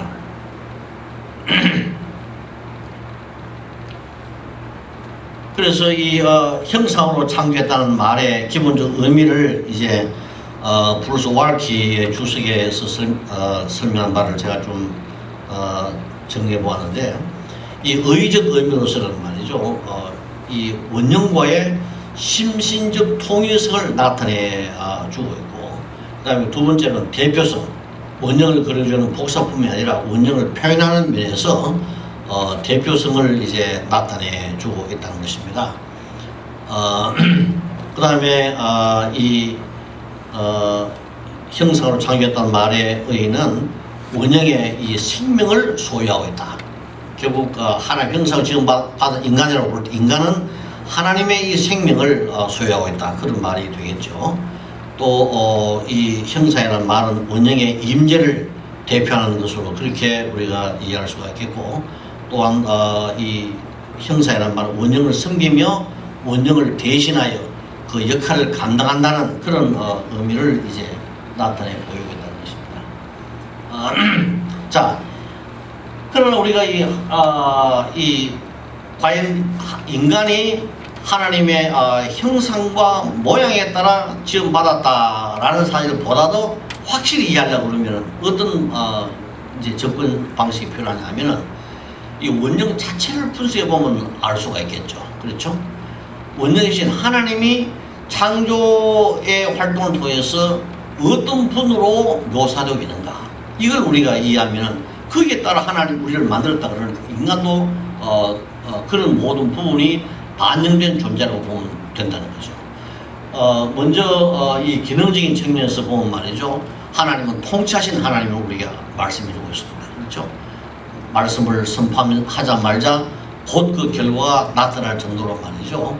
하나님의 말씀은 아주 어, 이 절대적인 명령의 말씀으로서 어, 즉각적인 이 어, 결과를 유발하는 통치적 기능을 어, 갖고 있음을 우리가 볼 수 있는데 바로 이런 통치적 기능에 따라 우리 인간을 창조했다는 거예요. 그래서 어, 우리가 하나님 형상이라는 사실 사실 사실 사실이 사실이기 때문에 하나님과 우리의 이 통치가 일차지 어, 일차지는 않습니다. 그러나 하나님의 통치의 모습이 인간에게 그대로 반영되어 어, 되어 있기 때문에 인간도 하나님처럼 통치하는 자임을 우리가 먼저 인식할 수가 있다는 거예요.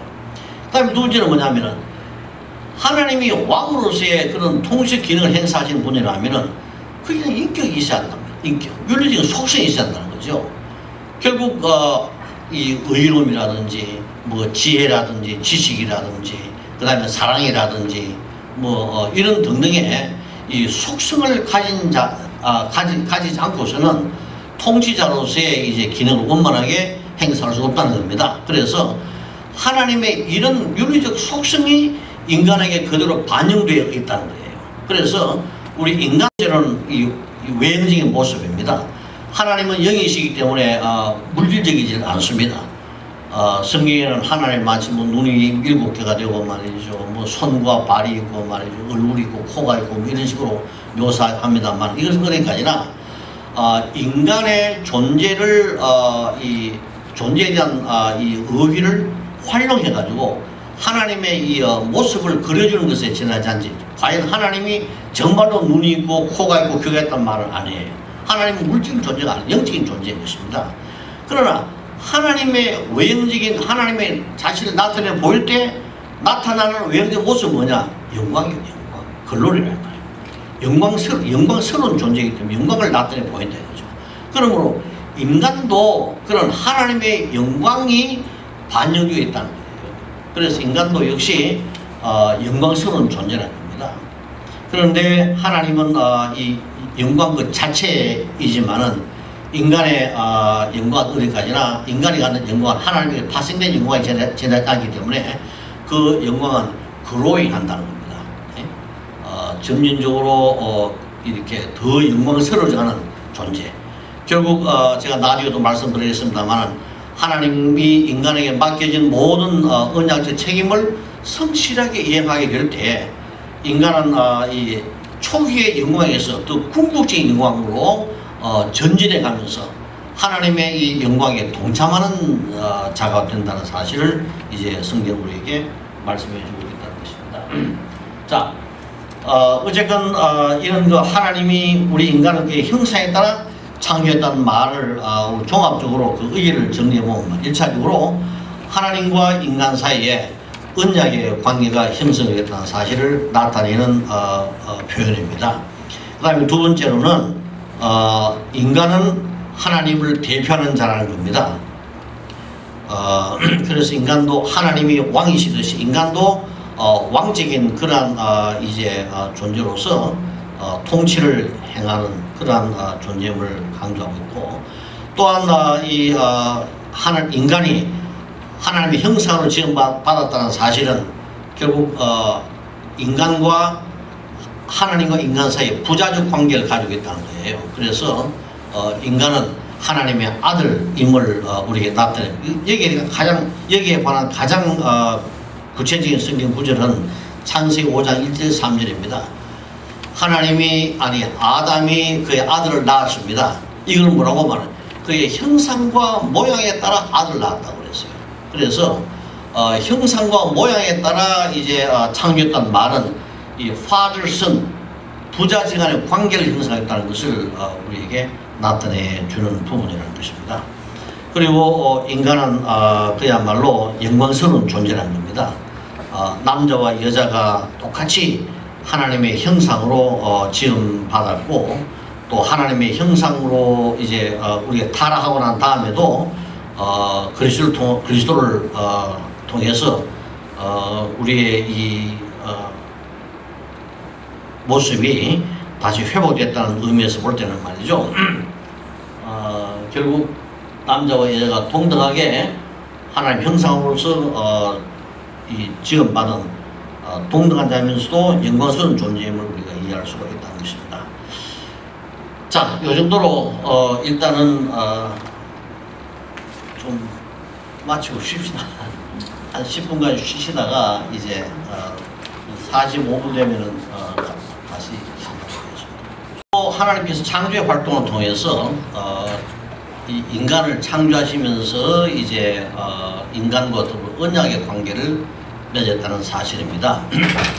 여러분 언약에 관한 어, 이 의비는 말이죠. 제가 좀 난 목사님들 목사님들만 오신 줄 알게 그래서 설명을 좀 어, 맡았는데 사실 여러분들이 좀 언약에 관한 어, 이 개념에 대한 좀 올바른 이해가 정말 참 필요합니다. 어, 창세기 6장 18절에 언약이라는 단어가 처음 나타나거든요. 그러면서 이 어, 성경 전체 한 280여 정도 사용, 사용하면서 어, 하나님과 인간의 관계를 언약의 관계로 이제 교정하면서 어, 하나님의 모든 구속의 역사가 바로 이 언약의 관계의 어, 이 매정과 또 언약의 이 내용을 성취하는 일련의 과정을 통해서 이제 하나님의 구원 계획이 이루어지고 창조의 모든 목적도 궁극적으로 성취된다는 사실을 우리에게 설명해 주고 있습니다. 그러나 어쨌간에 어, 제가 시간이 어, 부족하기 때문에 이 문제에 대한 어, 설명을 좀 생략하도록 하겠습니다. 그러나 하나 알게 뭐냐, 아래 알게 뭐냐면은 우리가 언약 그러면 사실 우리나라 이 문화에는 이 언약이라는 문화가 없습니다. 그리고 언약을 우리가 사- 언약이라는 단어를 사용하면서도 피상적으로 약속과 동일시하거나 혹은 그저 말로 서로 이제 약속하는 정도로 그렇게 이해합니다만은 이 언약은 그보다 훨씬 더 어, 구체적이고 또한 굉장히 어, 인간과 이제 언약을 맺는 당사자 사이 형성되는 어, 삶과 죽음의 이, 어, 이 삶과 죽음이 관련된 아주 어, 약정이라는 사실을 이제 우리가 잘 이해를 해야, 해야 되겠습니다. 자, 어쨌건 어, 창세기 1장과 2장의 내용 속에서는 하나님과 인간 사이에 언약의 관계가 맺었다는 사실 구체적으로 언급하는 한- 없습니다. 어, 그럼에도 불구하고 어, 창세기 1장과 2장의 기사의 이런 내용을 우리가 어, 이 성경 전체를 통해서 조명해 보면은 하나님이 인간을 그의 형상으로 형상에 따라 창조했다는 사실 그 자체가 어, 인간을 창조하시면서부터 하나님이 인간과 언약의 관계를 맺었다는 사실을 우리에게 이제 어, 부과시켜 주고 있다는 것입니다. 여기에 관한 여러 가지 이제 어, 데이터들이 있습니다만 제 시간 관계상 생략하도록 하겠습니다. 자, 이 언약을 어, 이, 이 맺으면서 말이죠. 하나님께서는 어, 인간에게 언약의 규범을 이제 어, 설정했습니다. 그리고 그게 뭐냐면은 어, 이 동산에 있는 에덴 동산에 있는 모든 실과는 다 먹어도 좋지만은 동산 중앙에 있는 어, 이 선과 악을 알게, 하는 나무의 실과를 먹지 말라. 먹는 날에는 정령 죽으리라고 그랬습니다. 그러므로 어, 결국 하나님께서는 어, 이 선과 악을 알게 하는 나무 이게 어떤 나무인지 사실 알 수가 없어요. 그게 사과나무인지 복숭아나무인지 알 수 없습니다. 그러나 아, 그 나무는 어, 결국 하나님의 이 순 하나님 하나님에 대한 순종을 요구하는 어, 이제 하나의 어, 이 표적 표적으로서의 의의를 가지고 있고 소위 어, 이 세크라멘트 신비로운 그런 나무로서의 이제 의미를 우리가 어, 되리라 생각합니다. 그 자체가 무슨 뭐 선과 악을 정말로 알게 하는 그런 나무라기보다 일반 나무는 나무인데 그 나무를 하나님이 설정해 가지고 인간에게 어, 순종을 요구하고 있다 그런 말씀이에요.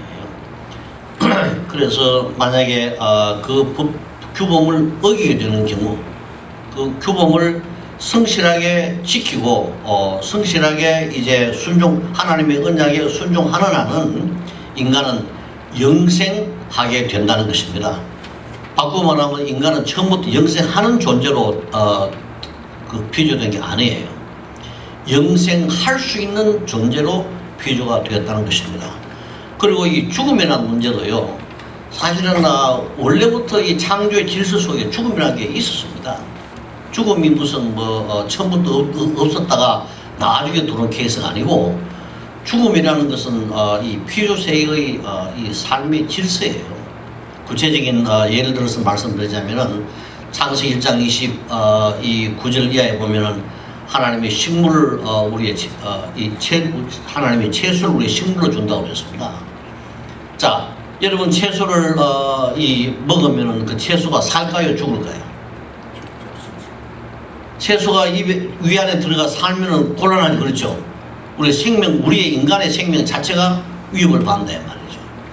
이 채소가 죽어 채소가 아, 우리의 아, 입에 씹혀가지고 소가 되어서 죽어야 거기에서 이제 생겨나는 모든 아, 이 아, 에너지가 인간의 인간의 몸에 공급됨으로써 인간의 생존이 가능해진다 이 말이에요. 인간의 생존이 유지가 되어지고 더 강화되는 그러한 어, 이제 어, 실제가 나타나게 되는데 이처럼 하위 동 하위 질서가 상위 질서의 질서를 위해 헌신하는 바로 그 질서가 뭐냐면 바로 죽음이라는 거예요. 죽음. 죽음이라는 것은 어, 처음부터 무슨 어, 형벌의 어, 이 어, 형벌로서 다가온 것이 아니라 어, 이 상위 질서를 위한 헌신의 구- 가장 궁극적인 표식으로서 죽음이라는 것이 이제 어, 존재했다는 것입니다. 그러므로 어, 이 동물이나 어, 식물, 인간보다 하위 질서는 죽음으로 인간을 위해서 헌신하는 거예요. 인간의 생존을 보증해 주는 것입니다. 그런 반면에 인간의 상위 질서는 누굽니까? 하나님입니다. 그러므로 인간에게 부여된 모든 하나님의 사명을 어, 성취하는 과정에서 인간은 죽어야 하는 거예요. 이것이 어, 가장 근본적인 인간의 삶의 질서예요. 그런데 하나님께서는 어, 우리에게 어, 이 은, 우리와 언약의 관계 맺으시면서 말씀하시기를 네가 내 언약에 충실하고 수- 나에게 순종하기만 하면은 너는 다른 피조물처럼 죽지 않고도 영생하면서 어, 나의 영광에 이르게 해주겠다. 이제 그런 거예요. 이게 바로 축복입니다. 반면에 어, 네가 만약에 나에게 불순종하게 되면은 너는 이런 어, 영생할 수 있는 기회를 상실해 버리고 원래의 죽음의 상태로 돌아가 버리고 만다는 거예요. 그것도 어, 징벌의 형태로 죽음을 체험하게 된다는 것이 이제 어, 언약의 규범과 보정에 관한 내용인 것입니다. 자, 이런 어, 관, 이런 상황 속에서 하나님이 인간과 어, 언약을 맺고 어, 인간의 이 신분을 이제 결정하고 또한 그 책임을 부여하게 됩니다.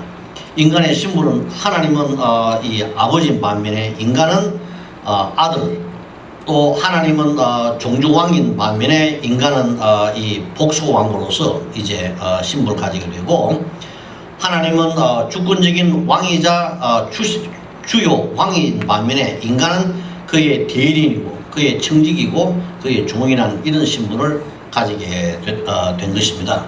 그리고 이런 인간에게 주어진 어, 이 언약의 책임 크게 두 가지입니다. 어, 창세기 1장 26절에서 이 28절 사이에 기록된 내용을 보면은 먼저 땅의 체험, 땅의 체험. 땅의 체험은 두 가지의 방향을 우리에게 설명하고 싶습니다. 첫째는 뭐냐면 수적 증가예요.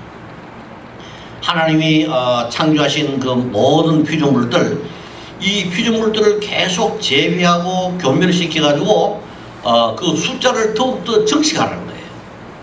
그리고 사람도 역시 하나님이 남자와 여자 딱 두 사람만 창조했는데 남자와 여자의 정상적인 결혼 생활과 성 생활을 통해 가지고 어, 이 하나님의 하나님의 형 하나님의 형상과 모양에 따른 그런 어, 인간을 재생산하라는 것입니다. 그래서 어, 결국 하나님은 어, 이 타산 인간으로 하여금 말이죠 타산을 요구하는 거예요. 가난한 자식을 많이 낳아라. 이제 그게 어, 요구입니다. 그 다음에 어, 이 땅의 체험은 또 한편 질적 성장을 동시에 요구하는 거죠. 어, 인, 그 어린 아기, 아기로 어, 이 태어난 응? 어, 인펀트를 말이죠. 양육해가지고 어, 이 정신적으로나 그 다음에 신체적으로나 영적으로나 지적으로 성숙한 사람으로 어, 성장시켜가지고 하나님의 일을 할 수 있는 사람으로 만들라는 거예요. 여기에 소위 어, 교육의 문제가 이제 개입이 되는 것입니다. 땅의 체험이라는 것은 어, 역시 교육의 문제도 바로 여기에서 개입이 되는 거예요. 그래서 우리 기독교 교육학에서는 말이죠. 교육을 어떻게 보느냐. 하나님과 맺은 언약의 구체적인 실행의 한 수단으로서 교육을 정의하고 있는 거예요. 하나님을 가르치고 하나님의 말씀을 가르치고 하나님의 명령을 가르쳐서 어, 인간으로 하여금 하나님을 섬길 수 있는 섬길 수 있는 어, 이 성숙한 사람으로 만들어내는 것이 교육이란 말이에요. 그리고 이 교육은 어, 언약의 책임의 구체적인 수단, 어, 책임을 성취하는 구체적인 수단으로 그렇게 우리가 이해할 수가 있겠죠. 그 다음 어, 두 번째는 땅의 정복입니다. 땅의 정복.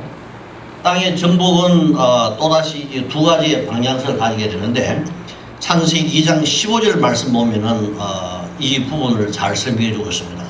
하나님이 아담을 먼저 창조하시고 어, 그 아담을 하나님이 창조하신 에덴 동산에 두셨습니다. 그리고 에덴 동산을 어, 이 지키고 경작했습니다.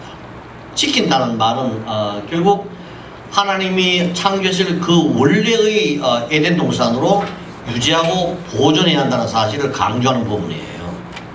어, 이것은 결국 하나님께서 이미 어, 이 사탄의 이 침입과 유혹을 염두에 두신 말씀이에요. 어, 그래서 이것은 어, 이, 어, 이 제사장적 기능을 말하는 거죠. 특별히 목자가 말이죠, 어, 양을 지키는 그 셰플딩의 어, 모습을 나타내 보여주는 거거든요. 그리고는 어, 이제 경작, 어, 에덴 동산을 경작하라. 에덴 동산을 개발하고 또 개발 이 농경 사업에서 흔히 어, 보여주는 것처럼 이 어, 고를 만들고 그래서 채소를 심고 말이죠.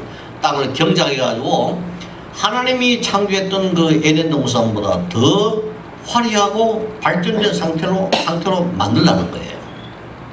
이것은 어디까지 확장적인 그런 어, 이제 방향성을 나타내 보이면서 인간이 가는 왕적인 어, 책임을 이런 방향으로 이제 나타내주고 있다. 그렇게 우리가 이해할 수가 있겠죠. 그래서 어, 하나님이 언약 관계를 맺으면서 인간은 그의 이 아들로 그의 이 어, 복속왕으로 또 그의 이 어, 대리인 청지기로 삼으시면서 그로 하여금 하나님이 하셔야 할 바로 그 땅을 채우고 땅을 어, 정복해야 할 이런 어, 책임을 이제 부여하게 된 겁니다. 어, 그러므로 인간이 말이죠. 인간의 존재라는 것은 결코 이 추상적인 존재가 아니에요. 그냥 하나님께서 종류대로 창조하는 가운데서 인간이 그냥 어, 돌발적으로 생성된 것이 아니고 하나님의 일을 하나님께서 하실 바로 그 일을 인간에게 맡겨서 인간을 통해서 그 하나님의 일을 성취하는 하나의 어, 도구로서 인간의 어, 이 존재하게 되었다는 것입니다. 이것은 어, 내가 누구냐를 아는 것에 대한 아주 중요한 부분이에요. 또 내가 어, 무엇을 해야 어떤 인생을 살아야 되는가 하는 문제, 문제와 직결되는 아주 중요한 문제이죠. 그래서 우리가 하는 모든 일은 말이죠. 어, 결국 이런 맥락에서 볼때 어, 나의 인생이 아니라 결국 뭡니까? 하나님의 사명을 성취한 하나님의 인생이라는 것을 우리는 어, 이해를 해야 한다는 겁니다. 어, 또한 동시에 여러분들 하시는 현재 지금 일들 그것이 뭐 이 목회자의 일이든 학자의 일이든 뭐 어이 어, 어, 가게 주인으로서 뭐 혹은 점원으로서 뭐 공장의 무슨 뭐 일꾼으로서 그 일이 무엇이든 간에 우리가 하는 모든 일은 엄격히 말하면은 하나님의 일이에요. 여기서 소위 우리가 말하는 어, 이, 어, 이 보편적 소명, vocational call이라는 말을 우리가 어, 흔히 사용하죠. 이 목회자로서 하나님이 우리를 부르시기도 하지만은 하나님이 우리에게 모든 직업을 맡겨가지고 그 직업을 통해서 하나님이 이 어, 창조하신 세상을 채우고 정복해야 하는 모든 걸 하게 하신다. 그래서 이런 맥락에서 어, 우리 모두가 다 사실은 어, 하나님의 그 하나님의 일을 하는 거룩한 사람이에요. 우리의 직업 모두가 다 사실은 거룩한 일이라는 것을 우리가 알아야 합니다. 목회자만 목사만의 어, 일이 거룩한 일이 아니고 모든 일이 다 거룩해요. 어, 단지 목사가 하는 일과 어, 목사가 아닌 자의 하는 일 사이에 종류가 다르고 말이죠. 어, 그럴 뿐이지 엄격히 말하면 모든 것이 다 하나님께서 우리에게 어, 이 하나님께서 우리에게 부여한 어, 소명이라는 차원, 직업이라는 차원에서는 말이죠. 모두가 다 이제 어, 동등한 거룩성을 지니고 있다. 그렇게 우리가 볼 수가 있겠죠. 어, 그 다음에 하나님께서는 이러한 그 언약의 책임을 성실하게 이행할 수 있도록 하기 위해 세 가지 제도를 어, 세우셨어요. 첫째가 뭐냐면은 노동의 제도입니다. 어, 일, 어, 창세기 2장 15절에 어, 경제하다라는 말에서 소위 노동이라는 말이 발생된 거예요. 뭐 아바시라는 히브리어 단어에서 이제 노동이라는 말, 일이라는 말이 이제 어, 형성되는데 에덴 동산에서 우리 어, 인간이 할 일은 뭐냐? 일하는 거예요. 일하는 거. 어, 빨가벗고 그냥 나무 어, 열매나 먹으면서 말이죠. 놀고 먹는 인생이 아니고 예? 에덴 동산을 경작하며 지키는 일하는 어, 동산이 바로 에덴 동산이에요. 제가 총신에 교수로 처음 부임해가지고 어, 신동을 학생 이렇게 강의에 나보고 자유주의자라 자기들에게 듣지 못한 말은 무조건 자유주의자예요.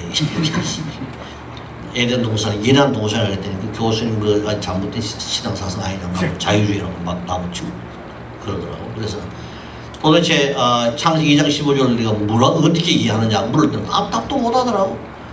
이게 지금 사실 한국 교회 이 보수란 것이 굉장히 아주 어, 이 성경에 충실한 나는 의미에서의 보수가 아니고 이 과거 이 무식한 어, 자들을 통해서 배운 것을 그대로 지킨 것이 보수야. 이게 이게 큰 문제예요. 여러분들은요 보수와 자유에 대한 그 어, 분명한 그 이 방향성을 잘 결정해야 돼요. 보수라는 건 뭐냐? 성경 말씀을 그대로 지키는 것이 보수예요. 성경 말씀에 따라 세상을 어, 이 발전시키는 것이 보수예요. 어, 자유주의는 뭐냐? 성령에 구애되질 않아요. 성경에 전혀 의존하지 않습니다. 인간의 이성의 자율성을 이제 어, 강조하면서 성경을 능가하는 인간의 이 어, 이성의 권위와 자유를 강조하는 것이 자유주의예요. 그러므로 그들에 의하자면 항상 성경은 상대적일 뿐입니다. 절대적 권위 갖고 있잖아요. 이 두 가지가 가장 중요한 어, 보수와 자유를 어, 진보주의를 결정한 하나의 어, 이, 이 기준이라는 여러분들이 잘 명심하고 말이죠. 여러분들이 진정한 보수주의가 보수 어, 보수인 어, 그런 어, 성, 성도 하나님 믿고 되기를 원하신다면은 성경 말씀대로 이해하고 인생을 사는 자가 되면은 그건 진정한 보수주의자예요. 그리고 진정한 보수주의 항상 진보적입니다. 왜냐? 성경 말씀에 따라 세상을 변화시키면서 어, 하나님의 참이 이상적인 세상을 만들어가는 자, 이, 이, 이, 이런 사람이야말로 참된 진보 진보주의자예요. 그렇지 않습니까? 이 요즘 말하는 진보주의는 파괴주의자예요. 하나님에게 불순종하면서 하나님의 말씀이 중요한 것이 자기의 그 욕망, 욕구, 인간의 아, 이 문화적인 여러 가지 아, 이 상황에서 어, 이 결정되어지는 그런 그 비전을 성취하기 위해서 어, 이 하나님의 뜻을 어그리는 이런 것이 소위 진보 아니에요. 그렇죠? 어, 어쨌건 어, 이 노동이라는 것은 말이죠. 이런 맥락에서 어, 하나님의 일을 성취하는 매우 중요한 제도이기 때문에 어, 노동 자체는 아주 성결한 것입니다. 직업에는 뭐 귀신 없다는 말이 바로 여기에서 나오는 이야기죠. 우리의 모든 직업은 말이죠. 모든 일은 어, 종류에 관계없이 모두가 다 하나님의 일을 하는 하나의 어, 수단에 지나지 아니하는 그럼 뭐 그런 면에서 모든 어, 노동의 가치는 동등한 것입니다. 단지 결과가 다를, 다를 수가 있겠죠. 그 다음에 결혼 결혼 제도 하나님이 세우셨죠. 창세기의 말씀 뭐 하나님이 어, 남자를 먼저 창조하시고 그 다음에 남자에게 남자와 언약 관계를 맺고 언약의 어, 이 책임과 어, 언약에 대한 이, 이 규범도 정하시고 다 해놨는데 하나님이 평가해 보니까 보식이 좋지 않았다. 보식이 좋지 않았다는 말은 신비적 차원에서의 평가가 아니고 이것은 하나님의 목적에 얼마나 부합했느냐 이것이 보다 더 중요한 어, 이제 어, 내용인 것입니다. 그래서 하나님이 남자만 창조해가지고 독채하게 할 때에 하나님께서 의도하시는 모든 것이 이루, 이루어질 수가 없다 이 말이에요. 남자가 무슨 재주로 땅을 채우냐 이 말이에요. 인간을 재창조할 수 없잖아요. 그렇죠? 그래서 어, 여자를 창조해가지고 이제 어, 여자를 그것도 돕는 배필로 창조해가지고 어, 남자와 한 몸이 되게 하신 거죠. 그렇죠? 그래서 이 결혼 제도라는 것은 하나님이 어, 언약을 성취하게 하는 매우 중요한 수단으로서의 제도입니다. 안식 어, 창세기 1장 2장에서 안식에 관한 문제를 더 이상 언급하지 않지만은 어, 그속 역사의 진행 과정 속에서 이 안식의 제도가 어, 이제 어, 창조의 오디너스로서 말이죠 어, 시작되어서 인간의 모든 삶을 규제하고 삶의 방향성을 이제 설정해주는 제도로서 어, 시작되었고 특별히 안식은 어, 인간을 말이죠 일의 모든 속박으로부터 이제 어, 구원하는 소위 구원적 의미를 가지고 있다는 겁니다. 구원적. 6일 동안 일하고 7일째 쉬면서 이것이 반복되는 과정 속에 결국 점진적으로 하나님의 안식을 어, 이 땅에 이 시- 영원토록 시행하는 이런 어, 제도로서 우리가 안식을 이해, 이해를 해야 한다는 겁니다. 이 세 가지 어, 제도는 우리의 삶에 아주 귀중한 어, 중요한 그런 어, 제도입니다. 자 이렇게 이러면서 볼 때는 말이죠. 결국 하나님이 어, 이 미션을 가지고서 천지를 창조하시고 그다음 그 미션을 인간을 창조해서 성취하는 이런 모습을 우리에게 나타내 보인다는 겁니다. 그래서 그 궁극적인 어, 이 미션의 어, 이 어, 실현은 뭐냐? 하나님의 안식을 영속화시키고 한- 하는 이것이 이제 어, 어, 하나님의 이 안식을 어, 영원하게 하고 영속하는 바로 거기에 것을 우리가 우리에게 잘 보여주고 있습니다. 그래서 인간은 결국 뭡니까? 하나님과 언약을 맺은 어, 이 당사자로서 이런 그 하나님의 창조를 통해서 이제 완성해 놓으신 바로 그 안식을 어, 자기와 자기가 사는 모든 세상의 어, 이 어, 질서 속에 스며들게 하고 그것을 어, 영광스럽게 하고 또 그것을 영속화시키는 바로 어, 그것이 인간의 어, 삶이라는 것. 이를 위해서 인간은 하나님으로부터 이제 보냄을 받은 세상을 향하여 보냄을 받은 자라 그런 말입니다. 그래서 인간은 뭐냐 하나님의 미셔너리라 그런 이야기죠.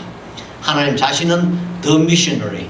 어, 우리는 뭡니까? 우리는 그의 미셔너리스. 하나님이 보내신 미셔너리 이렇게 우리 그를 뭐 어, 좁은 의미로 선교사란 말로 이러면 이해하지, 이해하지 않길 바랍니다. 아시겠죠? 어, 사명을 성취하는 자 이렇게 어, 우리가 번역하는 것이 훨씬 더 낫지 않나 싶습니다. 너무 선교라 그러면 자꾸 해외 나가가지고 말이 보험을 전파하는 뜻으로만 국한해서 이제 이해하는 경향이 많은데 사실은 성경에서 말하는 미션은 그보다 훨씬 포괄적이고 전 우주를 상대로 해가지고 뭐내 어, 내 나라 땅이냐 남의 나라 땅이 구분 없이 하나님의 어, 이 피조 세계 전체를 향하여 하나님이 어, 설정하신 그 미션을 실행하는 자로서 우리가 미셔너리를 이해를 해야 된다 그렇게 주장할 수가 있겠습니다. 그 다음에 어, 이렇게 이제 인간의 어, 삶이 이제 어, 이 정립이 되어졌는데 하나님 인간의 관, 인간, 하나님과 인간과의 관계라든지 또 인간과 세계와의 관계라든지 또 인간의 삶의 본질이 무엇인가 또 방향이 무엇인가 이런 모든 것이 다 결정이 되었는데 결국 인간의 삶의 어, 이 시작에서부터 어, 이 타락이 이루어지고 여기에 대한 하나님의 구원 계획이 이제 어, 성립이 되어졌습니다. 자 그런데 어, 이런 그 이런의 모든 내용을 보면 말이죠 어, 하나님께서 창조 언약을 통해서 이제 설정해 놓으신 그 모든 내용이 한편 불연속적이면서도 연속적임을 우리가 이해할 수 있다는 것입니다. 결국 하나님의 구원 계획은 무엇이냐? 어, 인간의 인간이 언약을 파괴하고 어, 아담이 어, 뱀의 유혹에 빠져가지고 하나님과 동등되기를 추구하는 바로 그 어, 어, 욕심을 이 나타내면서 하나님께 불순종한 그 결과로 인간은 타락하고 말았다는 거죠. 그래서 그 결과 어, 하나님은 어, 인간은 하나님과 동등되기는커녕 오히려 전적으로 부패하고 무능해졌으며 하나님의 저주로 어, 영생의 기회를 상실하고 말이죠. 영원한 죽음에 이르게 되는 그런 존재로 전락하게 되는 것을 우리에게 보여주고 있습니다. 그런데 하나님께서는 이런 인간을 말이죠. 다시금 하나님의 아, 이 주권적 어, 이 의도에 따라서 어, 언약을 맺고 어, 인간을 구원하시고자 하는 계획을 구체적으로 나타내 보여주십니다. 우리는 이 언약을 소위 전체적으로 어, 표현할 때 구수의 언약이라 어, 타락 이전의 언약을 창조 언약이라고 부르는 반면에 타락 이후에 어, 이 인간 인, 인간이 타락한 다음에 인간과 맺은 언약을 어, 구수의 언약이라 그렇게 지칭을 합니다. 이 구수의 언약 어, 안에 어, 이 타락한 아담과 맺은 언약이 있습니다. 이 창세기 3장에 잘 묘사되고 있죠. 이걸 우리가 흔히 시작의 언약이라 이렇게 부르죠. 그 다음에 창세기 6장의 말씀 보면은 어, 이 노아와 또 언약을 또 맺습니다. 이것은 어, 창세기 3장에 맺어진 아담과의 언약에 대한 어, 이제 어, 이 갱신이죠. 언약을 뭐 은- 언약이 아니라 그 언약을 또 보강해가지고 말이죠. 타락한 어, 세상을 유- 어떻게 하면 유지할 것인가에 관한 문제를 다루는, 다루는 언약에 대해서 우리가 이것을 보존의 언약이라 그렇게 지칭합니다. 그 다음에 또 창세기 12장에 12장 이하의 말씀 보면은 하나님이 아브라함을 택해가지고 어, 언약을 맺습니다. 그러면서 모든 어, 이 세계에 흩어져 있는 하나님의 택한 백성, 소위 어, 여인의 후손들을 어, 구원할 수 있는 구체적인 어, 도구로서 어, 새로운 백성을 형성하는 데 초점을 맞추고 있습니다. 그래서 우리가 이것을 소위 약속 언약이라 그렇게 지칭하고 있죠. 그 다음에 어, 이 모세의 때에 이르러서 하나님이 이스라엘 민족을 애굽에서 구원해가지고 어, 시내산에서 언약을 맺는 장면이 또 묘사됩니다. 이것은 어, 어, 하나님의 이 어, 백성으로서 어, 아브라함의 후손들을 이제 어, 택하시고 또 하나님의 왕국으로 어, 지정하시면서 어, 그들에게 이제 어, 주어질 율법을 구체적으로 이제 지정하시는 그런 어, 이 언약에 대해서 소위 율법의 언약이라 그렇게 지칭하고 그 다음에 어, 이 다윗 때에 이르러서 말이죠. 하나님이 다윗을 하나님을 대신하는 왕으로 세우시면서 어, 하나님의 이 나라 어, 창세기 1장 2장에서부터 하나님께서 나타내 보인 하나님의 나라가 어, 이 구속의 역사 속에서 어떻게 어, 성취되어야 하는가에 대한 가시적 어, 예시를 보여주는 준다는 어, 그런 의미를 갖고 있기 때문에 다윗과 맺은 언약을 우리가 왕국의 언약이라 그렇게 어, 지칭하고 있습니다. 그러나 이 다윗의 언약 이후에 어, 이스라엘 민족이 지속적으로 범죄함으로써 하나님은 어, 그들을 이제 온 사방에 흩으시죠.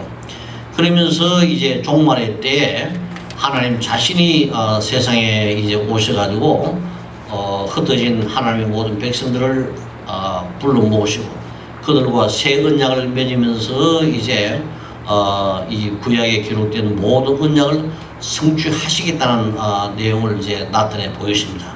그래서 우리가 이것을 새 언약이라 그렇게 지칭합니다.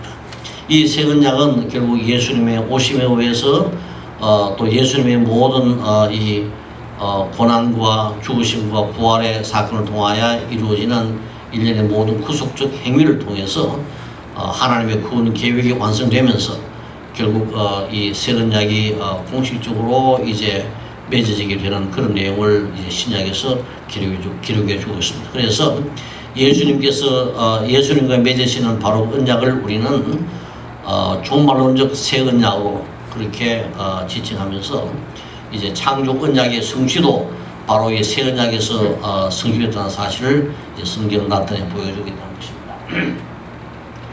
자 이런 내용을 뭐 우리가 일일이 다 설명하자면 이제 굉장히 시간이 많이 이제 어, 요하게 되는데 시간이 뭐 거의 다 갔네요.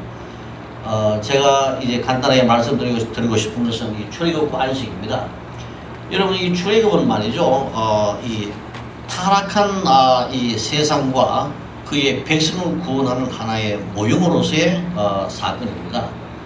어, 그래서 결국 이 출애굽의 이 사건 내용을 우리가 분석해 보면은 활동에 관련된 의회와 이미지를 사용하면서 이 출애굽의 내용을 이제 설명하고 있음을 볼 수가 있습니다. 그리고 어, 이 출애굽의 어, 사건을 통해 가지고 어, 이제 어, 이, 언약의 문서로서의 십계명을 주시면서 어, 그 핵심을 이제 안식일에 두고 있다는 것을 우리가 볼 수가 있습니다. 아, 여러분 아시는 바대로 열 가지 계명 중에서 이제 네 번째 계명이 안식 안식의 계명 아니겠습니까? 그렇죠? 아, 그래서 뭐 첫 번째 일, 일 계명에서 네, 네 계, 사 계명까지가 하나님에 관한 계명이고 오 계, 오 계명, 십 계명까지는 인간에 관한 계명이라 그렇게 부릅니다만 사실은 어, 모든 계명이 하나님의 뜻을 이제 나타내 보이는 하나의 계명이라 그렇게 우리가 어, 볼 수가 있겠습니다. 하나님과 인간의 관계를 우리가 지나치게 이 양면할 것이 아니라 어, 언약의 맺음을 통해서 하나님과 인간이 아, 이 연합이 되어 있다는 그런 그, 어, 이 체계 속에서 볼 때는 특별히 그러하다 그런 말씀입니다. 그래서 열 가지의 계명은 하나님의 아, 뜻을 열 가지의 안목으로 설명하는 것이라 그렇게 우리가 아, 이해도 조금 더 부족한 아, 지나지 않다는 거죠. 특별히 어, 십계명 속에서 안식일에 관한 문제를 구체적으로 다루면서 말이죠. 이때부터 어, 이 십계명을 십계명을 통해 가지고 어, 안식일을 어, 이 이스라엘 민족의 가장 중심적인 어, 삶의 어, 이, 이 어, 필라로 그렇게 어, 설정하고 말이죠. 안식일을 준수하는 것에 어, 집중하는 그런 내용들을 우리가 볼 수가 있습니다.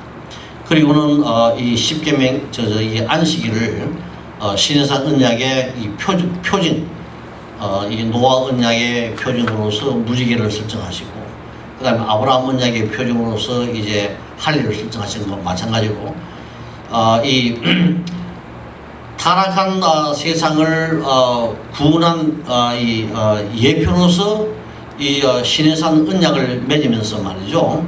어, 출애굽을 사건 통해 신해산 언약을 맺으면서 이 어, 안식일의 준수를 안식일의 준수를 신해산 언약의 표적으로 삼겠다는데 우리가 주목을 해야 합니다.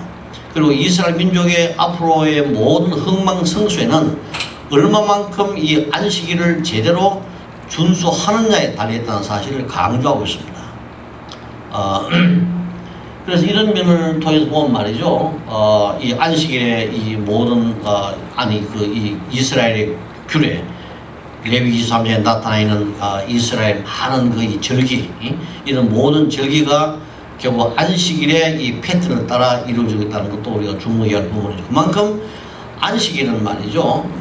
어, 하나님의 신정 왕국의 이 어, 백성으로서의 이스라엘 민족에게서는 삶의 가장 중간 중심점이 되겠다는 것을 어, 우리가 주목을 해야 합니다. 쉽게 말하면은 하나님의 안식을 그들의 삶의 모든 현장 속에 얼마나 어, 이 순수하고 진지하게 어, 성실하게 성취하느냐에 따라서 그들의 어, 미래가 결정되어지고 그들의 모든 어, 축복과 저주가 결정되어진다는 사실을 우리에게 강조해주고 있다는 겁니다.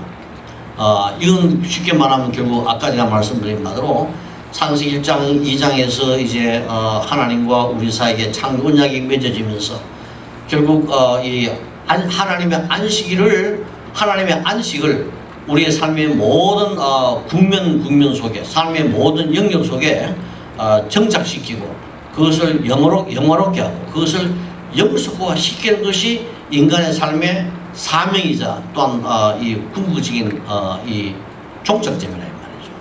그것을 어, 이런 방향으로 다시금 강조해주고 있다는데 우리가 주목을 해야 한다는 것입니다. 그 다음에 어, 이 새 출애굽 소위 new exodus 어, 이 엘리야 시대 시대에서부터 우리가 어, 이 선지자 시대를 이제 어, 시작하게 된다고 보는데 이 어, 엘리야 시대 이후로 어, 새 출애굽에 대한 어, 문제가 선지자들의 어, 활동을 통해서 이제 계속 강조되었습니다. 어, 이런 그이새 출애굽, 출애굽에 있어서도 안식이 아주 중요한 중심점이에요. 어, 이스라엘 민족의 멸망, 포로로 이, 이 북, 북이스라엘 또 아, 남방 유다 나라가 왜 멸망했느냐? 그들이 안식일을 지키지 않았기 때문이라고 성경은 분명하게 말씀하고 있습니다. 그리고 어, 이, 이 포로의 포로기를 포로 기간을 끝내고 다시 회복되는 일년의 모든 그, 어, 이 기간도 소위 안식년, 안, 이 안식년, 안식을 패턴으로 어, 이 70주 때 돌아온다고 말씀하고 있지 않습니까? 그렇죠? 이거 역시 안식에 어, 관한 문제를 이제 연결시키고 있습니다. 그리고 어, 새 출애굽의 메시지는 후속주의 오심을 강조하고 있습니다. 그리고는 어, 이, 어, 이 어, 후속주가 오심으로써 어, 지금까지 모든 시대를 마감하고 새로운 어, 이 영원한 종말의 시대를 마지막 시대를 이제 여신다는 사실을 강조하면서 말이죠. 새 하늘과 새 땅의 도래를 강조하고 있고 또 새 언약의 매점과 하나님의 이 어, 새 언약의 백성을 형성하는 문제를 다루고 있고 어, 또이 어, 그때 하나님의 성전과 나라가 이제 이 땅에 세워진다는 사실을 이제 말씀해 주고 있습니다. 이러한 모든 내용들이 결국 어, 이 마지막 선지자고 마지막 왕이고 그리고 모든 인류를 대표하는 제2의 이 어, 어, 아담으로서 그리스도를 통해서 하나님의 모든 구원의 계획이 성취가 되어진다는 사실과 또 그 하나님 이 구원의 계획이 성취된 바로 그것을 성령이 우리 개개인에게 적용함으로써 어, 우리는 그야말로 어, 이 하나님으로부터 구원을 받은 백성이자 또한 동시에 어, 이 어, 에덴 동산의 아담과 하와로 회복된 어, 우리의 실제를 나타내 보여주면서 어, 그리스도가 안식에 들어간 같이 우리도 결국 어, 그와 더불어 안식에 들어가는 상태임을 우리에게 잘 설명해 주겠다는 것입니다. 그래서 결국 신약에 나타나는 모든 내용들을 보면 말이죠. 어, 예수님이 어, 그의 이 어, 인물과 또 그의 이 고난과 죽음, 부활의 일련의 모든 사건을 통하여 어, 하나님의 이 어, 구원의 계획, 더 나아가서 하나님의 창조적 모든 경륜을 완전하게 성취했다는 것입니다. 그러면서 예수님 자신은 안식에 들어갔다는 사실을 강조하고 있습니다. 어, 그리고는 그 어, 하나님께서 어, 예수님이 안식에 들어가심으로써 이루어진 어, 새 시대, 새 하늘과 새 땅의 어, 시작, 또 새로운 어, 이새 시대의 어, 이 시작, 또 하나님의 나라와 성전의 어, 이 성립 이런 모든 것들이 궁극적으로 성도들의 이, 어, 이 삶을 통해 가지고 그리스도와 함께 안식의 삶을 어, 이제 어, 살아가는 동안에 그것이 어, 이제 절정에 이르도록 하는 이것이 어, 우리들의 인생이라는 사실을 강조해주고 있습니다. 특별히 어, 마태복음 28장 18절에서 20절에 나타나는 우리가 소위 말하는 뭡니까? 그레 커미션. 그 그레 커미션도 분석해 보면 말이죠. 어, 창조주가 되시고 구속주가 되시며 또 새 언약의 주가 되시는 그리스도가 창조 언약의 그 창조 명령 땅을 채우고 땅을 어, 정복해야 할 바로 그 명령을 다시금 어, 이 안식의 상태에 들어간 그리스도가 어, 그 안식의 궁극적인 어, 이 절정을 이제 바라보면서 인생을 살아야 할 우리 모든 어, 이 성도들에게 부여하는 어, 이제 창조 창조 어, 언약의 명령을 말이죠. 다시금 재시행하는 그런 어, 방식을 우리가 알 수가 있습니다. 마태복음 28장 어, 18절의 말씀 보면 말이죠.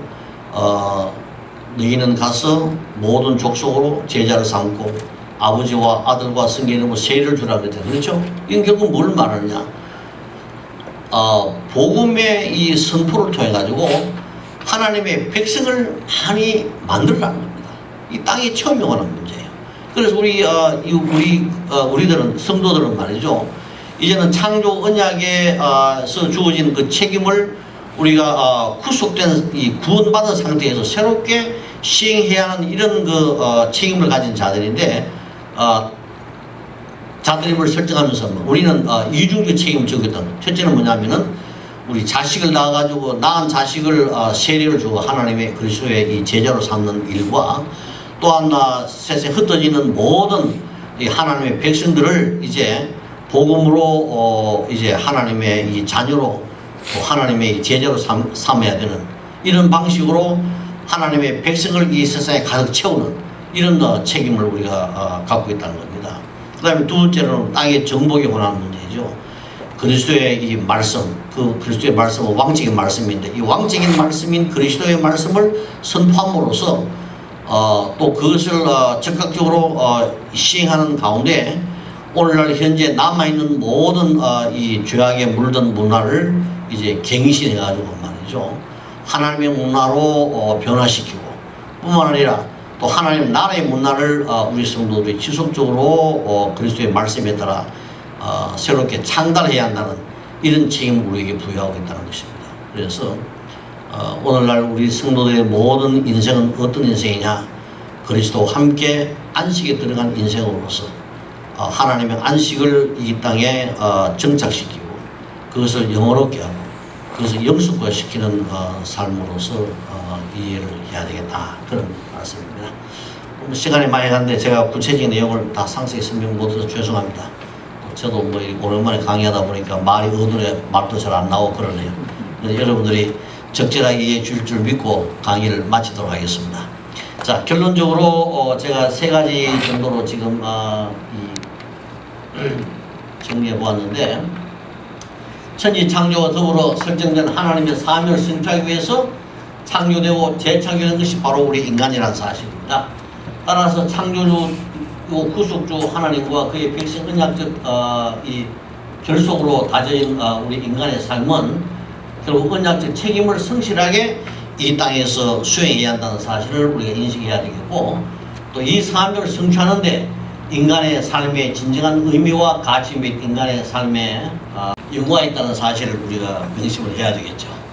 어, 자, 여러분의 삶의 비전이 어, 여러분들 여러분 나름대로 있겠습니다만은 오늘 어, 저의 강의를 통해서 이해하신 바 좀 이해를 하셨다면은 하나님의 비전을 여러분의 비전으로 삼고 예?